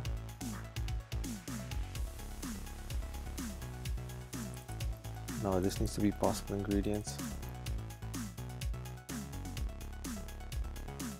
And let's We'll keep this.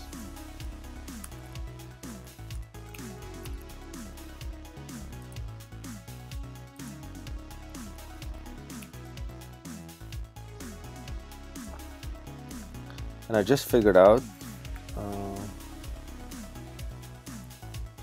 that oh no that's gonna fix it for that I think okay lines um, where's our error come from uh, 59 59 oh wait. I copy pasted this of course here does it run? It runs? Okay let's see what's going on now. Hopefully I fixed the uh, issue. Allergen to possible ingredients. Doesn't seem like it. No still not fixed. Uh, I think it's because I think it's because here this ingredients includes both and ingredient to allergen. It's not a possible ingredient. Right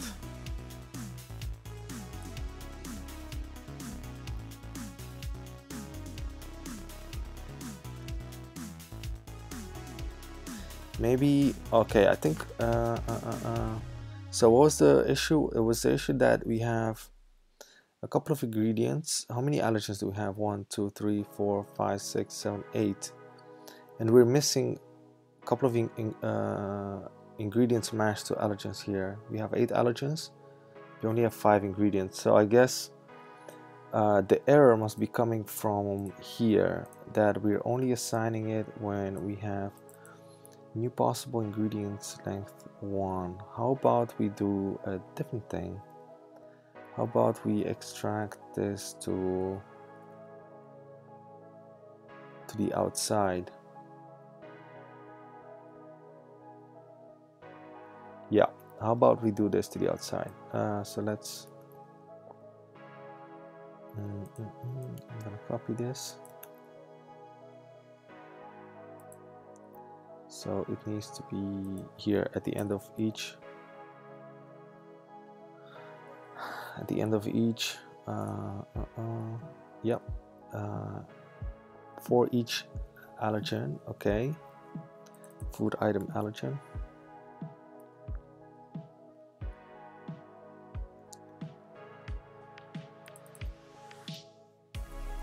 Allergen to possible ingredients. Food item allergen length.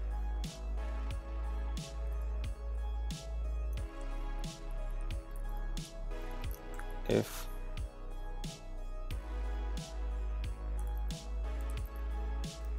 length equals 1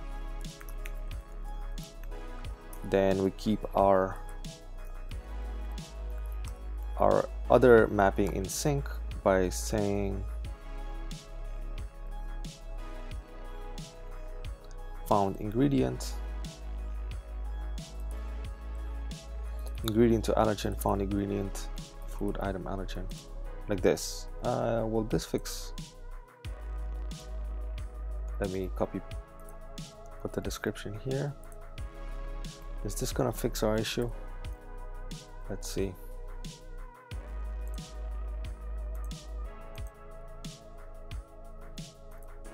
Error Unexpected end of inputs. Did I forget to comment out something?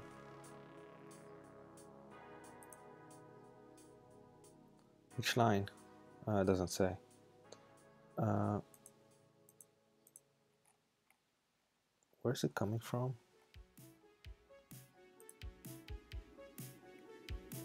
Maybe I need to...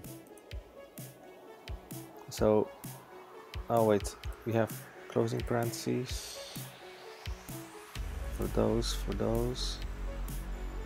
If, oh, okay, I forgot to add a closing parenthesis for this if else.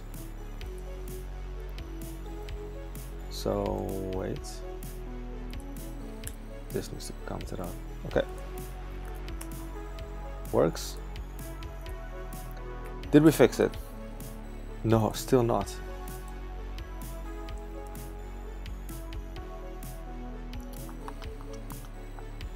Uh, after each allergen we keep it in sync. Why is this not keeping in sync? Why? Because, well, because, oh yeah, because these has more. Makes sense. Yeah, these three, eggs, fish, and wet, we haven't Okay, so we're not removing, so our bug isn't there at least, but I'm gonna leave that here anyway. Um, okay, our bug isn't there, but our bug is somewhere here because we haven't removed this ingredient from dairy, which is weird because dairy is in here. VCCKP. It should be removed here ingredients, filter ingredient,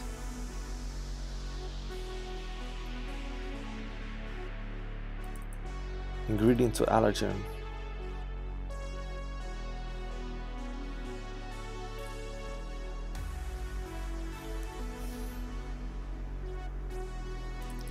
Possible. Okay, so on the first encounter we added there.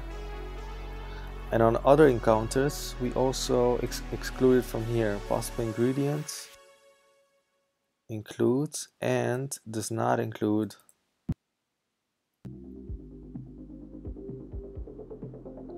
If it finds the ingredient, then this should return false, no? Includes and if this is true, then that's false.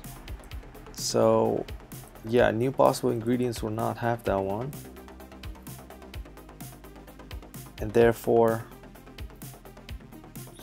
yeah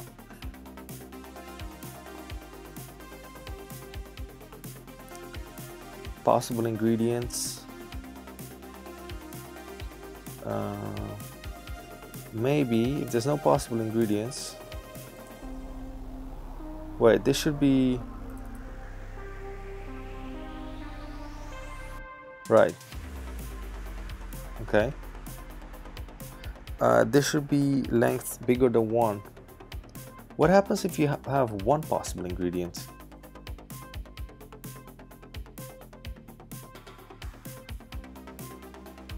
Hmm.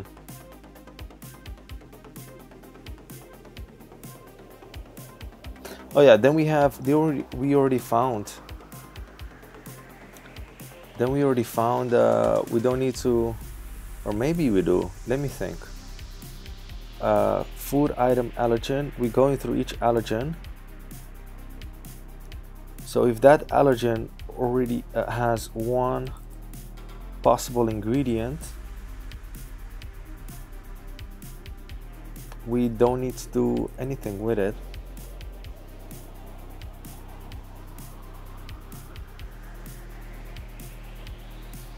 so we can skip it.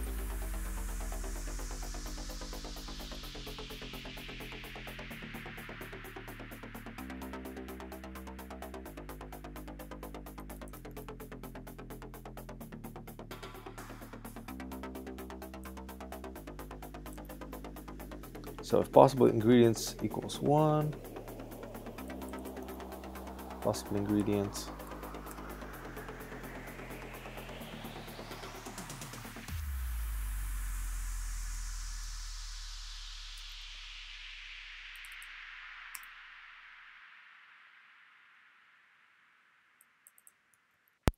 Found ingredients.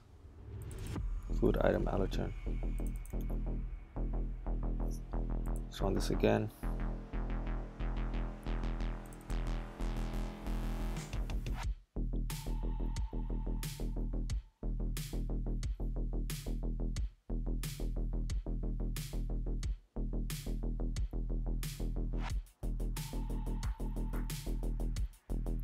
Oh wait, but that's gonna change, so no.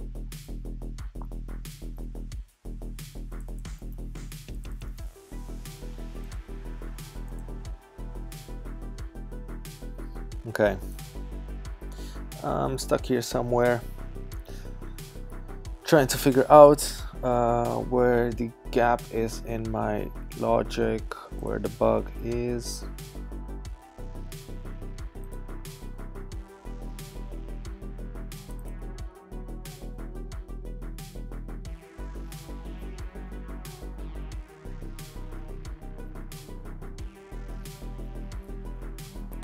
Maybe I could, um, do I see the same bug?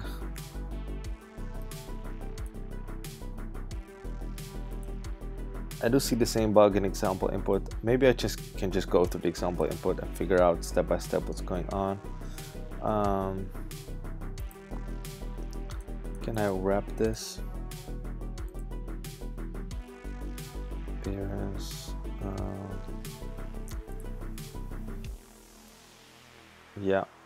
Okay uh, gonna wrap it a little bit here. Okay let's uh, go through our example input. I'm gonna add a breakpoint where I'm gonna add a breakpoint uh, here before it goes in there. And then one here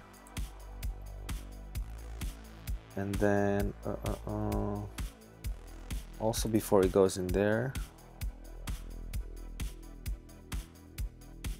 And um, and before it assigns it. Okay.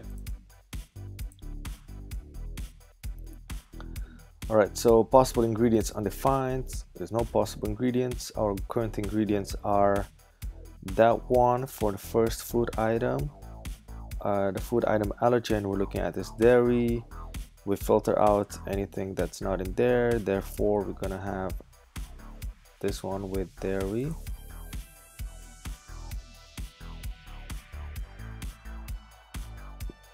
Can I somehow here at the end?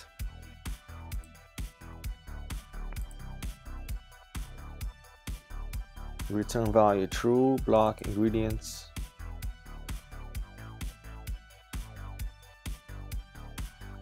okay I see what's going on. I'm gonna remove this breakpoint. So possible uh, here we have dairy those four ingredients. Okay. And then if dairy is equal to length which is not we skip it. Therefore we should not go inside here which we don't. Okay next food item allergen fish. Uh, we don't have uh, it's the first time we encounter fish. Therefore we add it so we have fish with all of these. That's good. Fish uh, does not have one uh, ingredient so we shouldn't go in there. All right so now we have dairy. We're on our second food item. We have dairy. Um, we did find uh, dairy before therefore it should not go in here. It should go in here.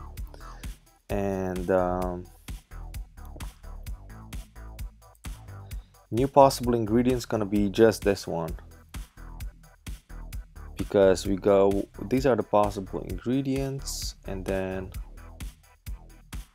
we filter out um, if it doesn't include in the current ingredients uh, those that are not in the current yeah includes uh, true. So the ingredients that are not in the current ingredients I'm gonna filter out and those that are are going to be true. Okay. And uh, ingredient to allergen but we don't have any there yet. So we're gonna assign uh, this ingredient to uh, dairy allergen. Okay. So now yeah it's indeed one so we should go in here. And then our ingredient we're gonna map it to dairy so then on the next iteration we have yeah that ingredient mapped to dairy and here reverse we have dairy with just that ingredient. All right. So we are the next uh, at the third food item uh, soy. Soy we haven't encountered soy before therefore we should assign it possible ingredients which are those two. That's correct? That's correct. Okay. So we go to the last food item and which has fish.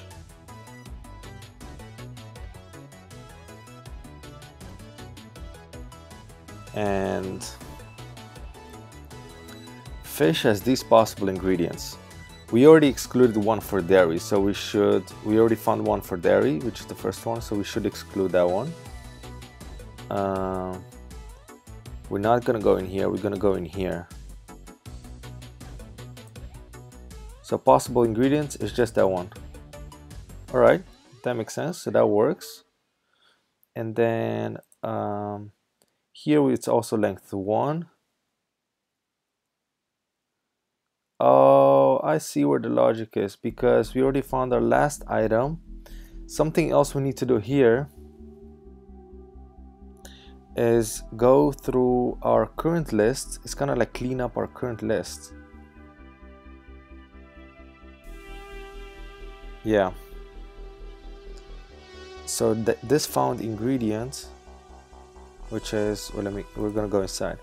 This one we need to exclude it from soy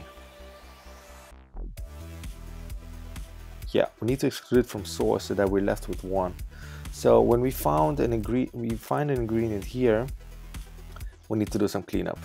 Okay. I think this is what's uh, missing in our program here. Um, so found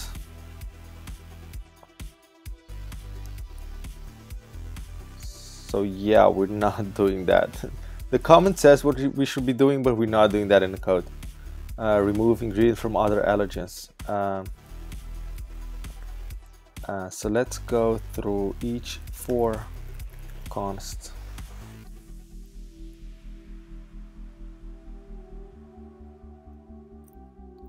allergen of object values.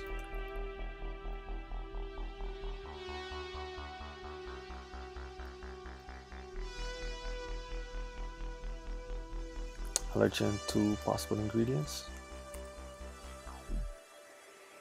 And then allergen to possible ingredients. Allergen equals yeah we're gonna need to do entries here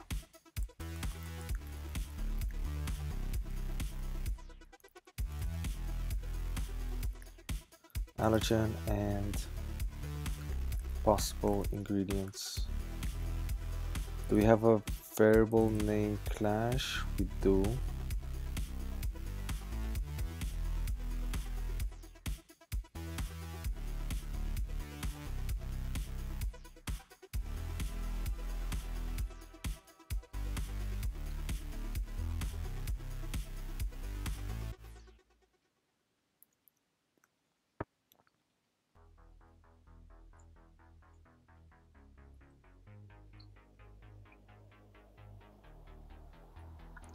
So I wanna, I found the ingredient and I need to remove this ingredient from all the uh, allergens that we have. So we have um,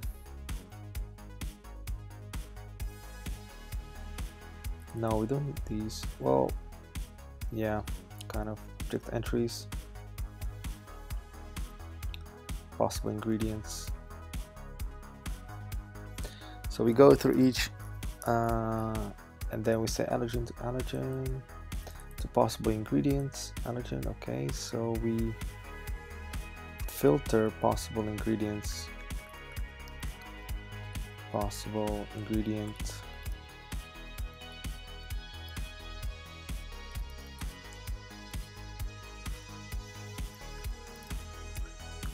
is not equal to found ingredient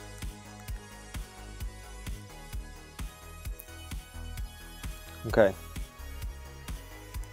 I think uh, let's try again. I'm gonna remove these breakpoints for now.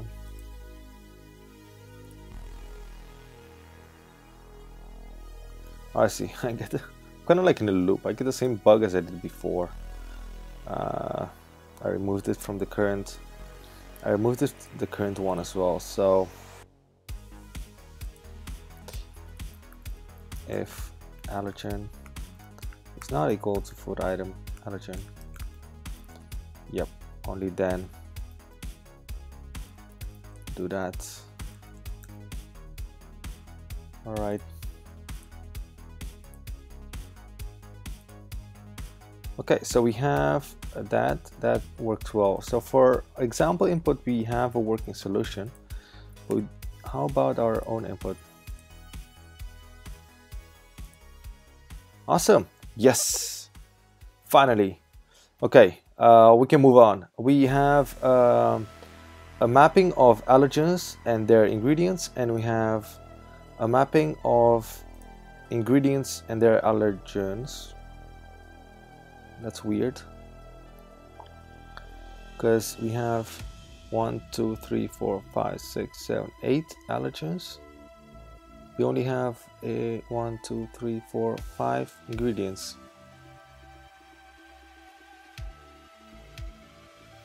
Okay, I need to do another mapping here. Yep. So do do do do. It's kind of like recursive loop here, but so if this length is yeah, I should have I should have approached this completely different, and now I just realized should have had a while loop. Uh, but okay, we'll stick to that. Uh, length is equal to one. Then ingredient to allergen. Actually, this needs to be a while loop. Yeah. Um, no, let's do it like this for now. Ingredient to allergen uh, found ingredient. Found another ingredient. Yeah this is really dirty. Uh, I just realized that my approach isn't the best and I should have I should have um, use the while loop and then I would have avoided all this. It would be much simpler solution. But it's going to take me a longer time to uh, refactor the, the whole the entire approach. So I'm just trying to make it work with what I have now. And I hope this is enough. I hope this is enough. Um, and I need to get the allergen there. Yeah. Okay so uh, let's run the program again. And now yeah we have eight ingredients. One two three four five six seven eight. Awesome. Cool. So um, back to our puzzle. What's the question? How many times do any of those ingredients appear that are not matched to an allergen? Okay so we just have to do a simple we're gonna go through foods. We're gonna do a map first because we need to parse uh, we need to get the ingredients. So we're gonna do um, ingredients. Return ingredients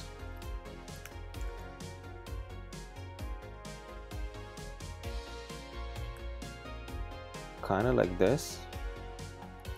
And maybe also do a flat map. Because we're gonna get uh, yeah do a flat map.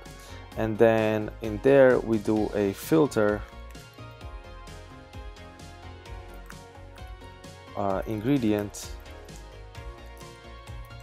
And we only need to care about those that are not in our ingredient to allergen map. So ingredient to allergen map ingredients that are not in there. And then we are going to um,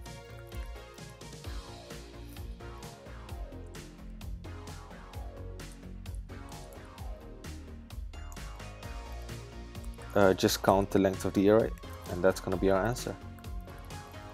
Number of ingredients without allergens.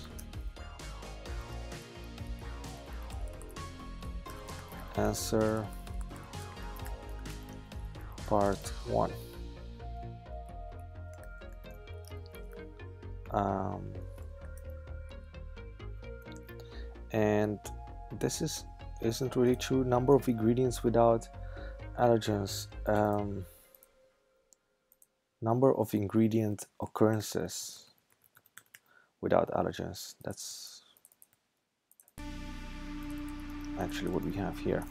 All right so answer for part one is 2556 is that the correct answer? Yes it is. We can move to part two. Awesome. Uh, part 2. Now that you've isolated the inert ingredients, you should have enough information to figure out which ingredient uh, contains which allergen. In the above example, oh yes, this is awesome. So um, remember that a previous on a previous day, day 20, I had an approach for the first part that didn't work at all for the second part. So I had to start the new. It was constructing a map and the corner tiles I didn't actually construct a map. I just I was just being clever about which tiles would be corner tiles, and uh, just grab those IDs and answer the first part. But then the second part, I need to construct a map, so I needed to actually, yeah, yeah, to construct a map. So the first part solution would not, I couldn't reuse it. But now, because we did all this work of mapping the allergens to ingredients and ingredients to allergens, uh, we're, to solve part two fairly easy because we already did all the work. Uh, now that you've isolated the inert ingredients, you should have enough information to figure out which ingredient contains which allergen. In the above example contains dairy. Okay. Now arrange the ingredients alphabetically by their allergen and separate them by commas to produce your canonical dangerous ingredient list. There should not uh, there should not be any spaces in your canonical dangerous ingredient list. In the above example, this would be all right. What is a canonical? Yeah, so this is super easy. Uh, we're gonna use our uh, mapping ingredient to allergen. And we're gonna get the keys. All right, so we do um, object keys ingredient to allergen. And then um, we're gonna map those keys to a uh, no wait a second. We can join those uh, yeah. We can join. Uh, we're gonna have a bunch of keys so these are gonna be the keys and then we join them with a comma. That's it.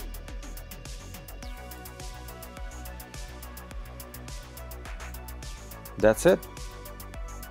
So let's name this to const canonical. What did it call it here? Dangerous ingredient list. Uh, danger uh, ingredients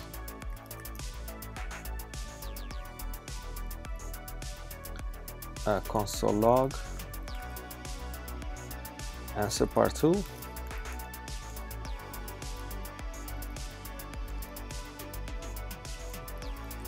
And what is it?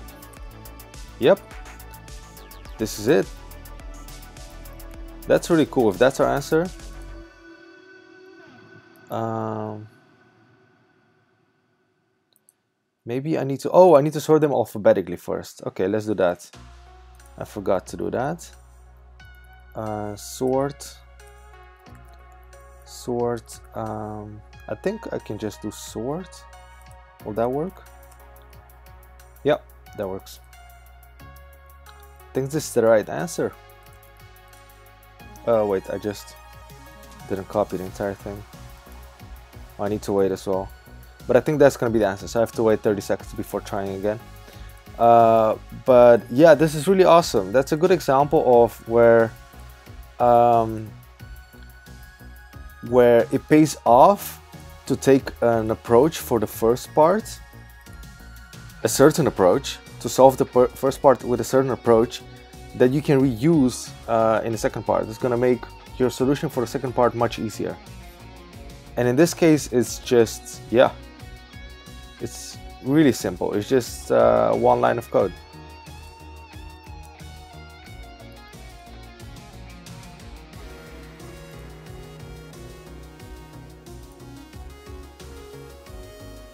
It's still not the right answer. That's interesting. Uh, am I doing some, no, input one.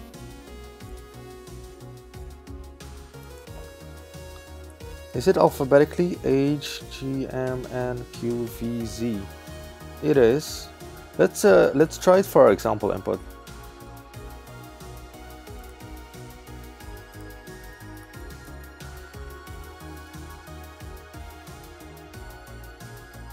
Wait, is it is it reverse alphabetic? No, so they have M, S, and F, and I have a different uh, Arrange the ingredients alphabetically by their allergen. Oh, so we should arrange by allergen, not by ingredient. Okay, so here we sort. Um, okay, so then I'll have to do entries. And then the sort is going to grab allergen. And that's going to be um,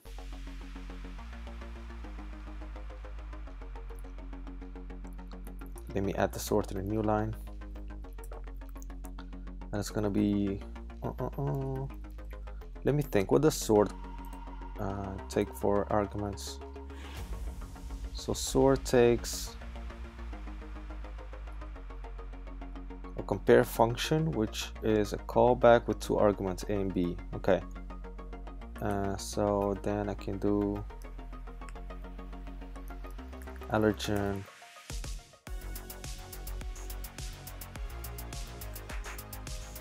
B and allergen A and I can just do allergen A minus B.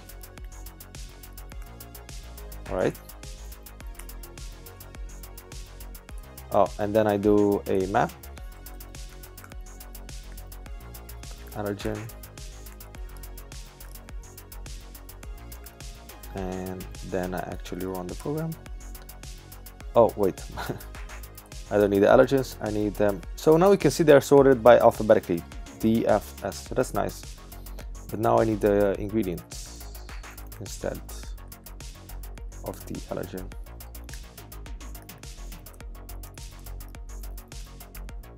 All right.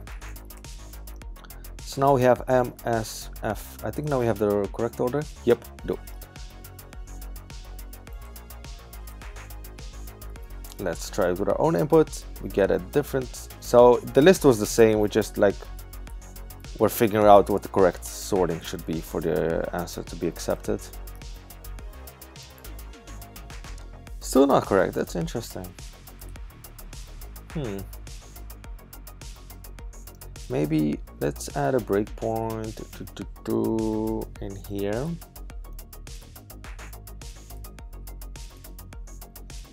What are so our ingredients to allergens? Where is it? Here.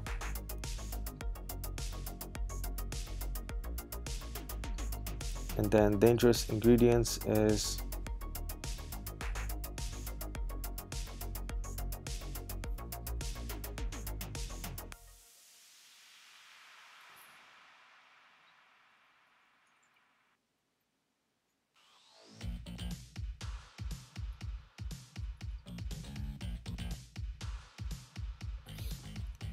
So what's the uh, what should be the first? So we have the allergens here. What's the first allergen alphabetically that comes up? Is it dairy? It's dairy. So VCCKP should be uh, our first item on the list, which isn't true for some reason. So maybe the sorting isn't right here. Uh, let's see, let me add a breakpoint here and I'm gonna go in here.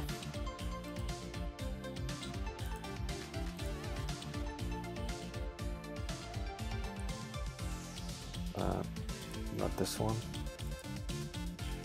Okay, so allergen A and allergen B. Allergen A is dairy, B is nuts.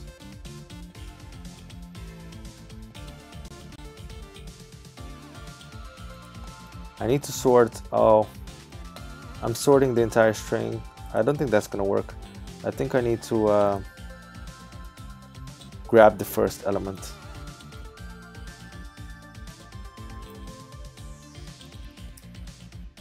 Hmm, doesn't change.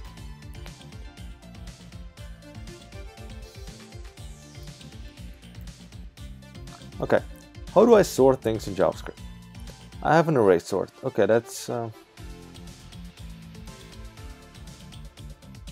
yeah, but I want to... So let me comment this one out and see what we get. So sorted, but it's not, how come nuts, dairy, dairy should be first and then it should be fish. So the sorting is not correct at all. So uh, sort takes a compare function. Oh wait, maybe so a minus b.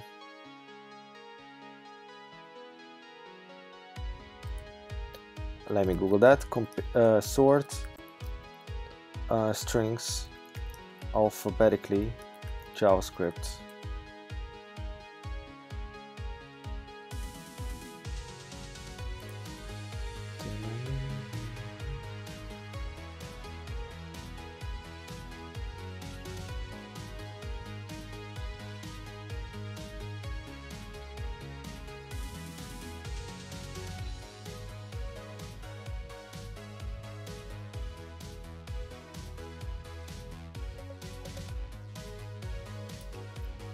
Something negative if first argument is less than second.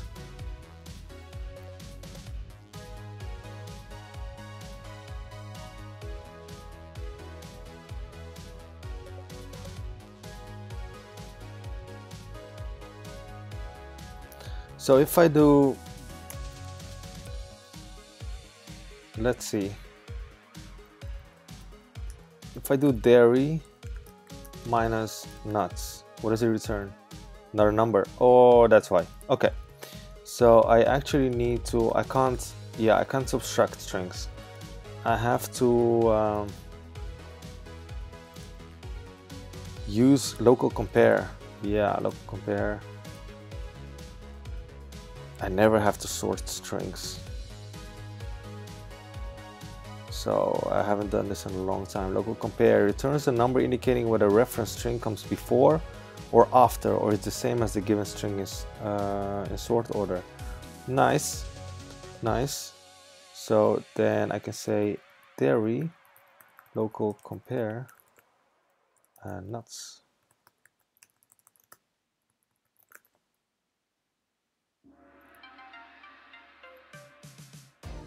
Oh wait localeCompare. Minus one. Okay. So maybe I need to use that one um, allergen A, local, compare, allergen B. Still figuring out our sorting here, but I think they should look fine. Hey, okay, dairy, eggs, fish, this looks sorted. Awesome. And then sesame shell also. Perfect. Okay, we had a sorting issue for our uh, second part but luckily uh, yes this should be the correct answer Oh, damn it. I didn't copy the actual, the entire string. And I already tried, so I need to wait a minute. Okay, we'll wait a minute. Um, let me get rid of this input.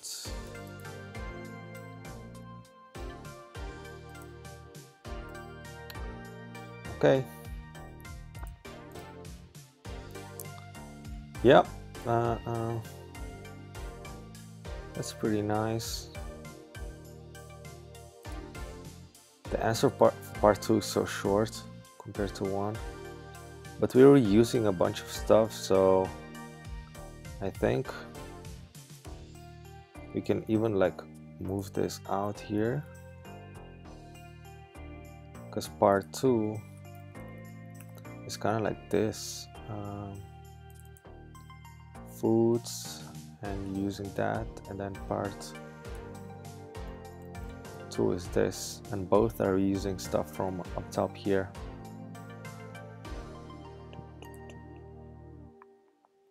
Yep. I might add a comment here later on explaining what's happening. Okay let's try again you have to wait three and a half minutes. Oh, I tried too many times now. Silly me. Okay, three and a half minutes. Just bear with me. Uh, let's in meanwhile uh, refactor, refactor stuff. Yeah. Let's clean up some things. Um, foods, okay. Uh, choo -choo -choo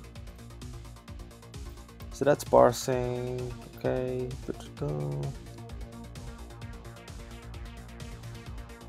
Alright, so what do we have here? We have two mappings.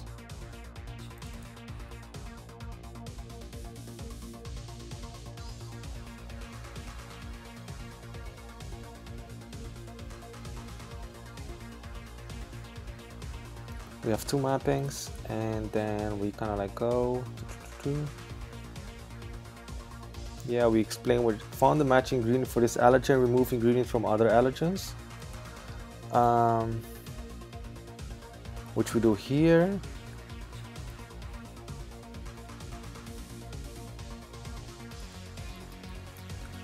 If current allergen is not only change only change only remove do not remove found ingredients from current allergen allergen. Otherwise we're left without an ingredient for that allergen. Uh, and then we filter. I mean yeah that's what it does. We filter out that ingredient and this is kind of like a nested loop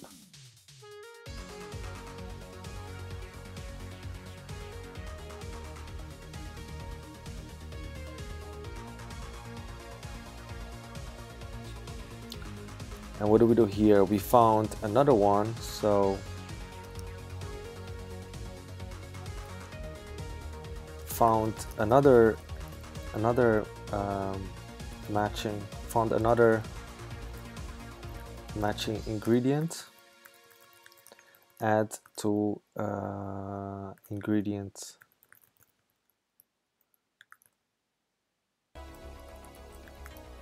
to allergen mapping that's what we're doing here. We're adding uh, this ingredient to the mapping. Because we were like off by one. Alright we added some comments in here. Yeah I'm pretty satisfied with what we have so far. Uh, I could refactor this into uh, like I said earlier to use a kind of like a while loop and go through them and not have this kind of like repeating code here. Um, but uh, that's gonna take more work and I don't think I will do that. Let's see if we can try our answer. 24 seconds. Uh, yeah let's wait 24 more seconds. I hope I still have it in my key. Yep. Okay. 20 seconds left until the moment of truth. Have we solved the second part? Hmm, hmm, hmm, Foods ingredients, allergens, foods. Maybe I can rename this to food items.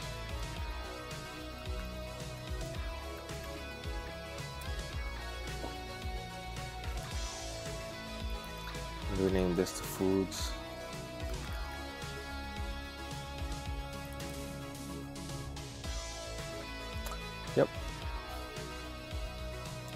Food items and each food item has bars food so that each food item is an array with two elements. Element uh, food item with two elements and then uh, ingredients an array of ingredients an array of ingredients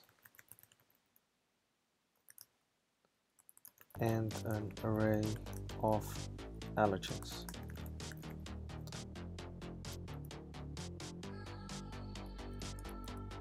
that's kind of like what's happening here Okay, let's uh, give it a try. I think 20 seconds passed. Yes, that's the correct answer for the second part of uh, day 21. We solved it. Uh, closer to saving your vacation. Woohoo! Great. Uh, yeah, so that was it for uh, day 21 today. Uh, thank you for watching. I appreciate it and uh, tomorrow we're gonna continue with day 22 as it looks we left our island on our raft which we just built because we gathered the food items for our journey. It's gonna take a few days to reach our final destination which is uh, right down here. It looks like it's appearing.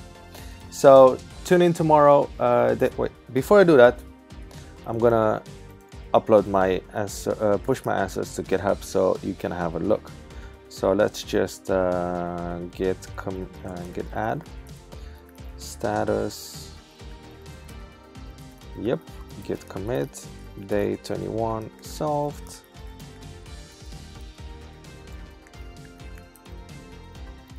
Git push origin main. And the answer is gonna be here just here. Yep day 21 I'm gonna link it in the chat in case you want to have a look. And um, that's that. Um,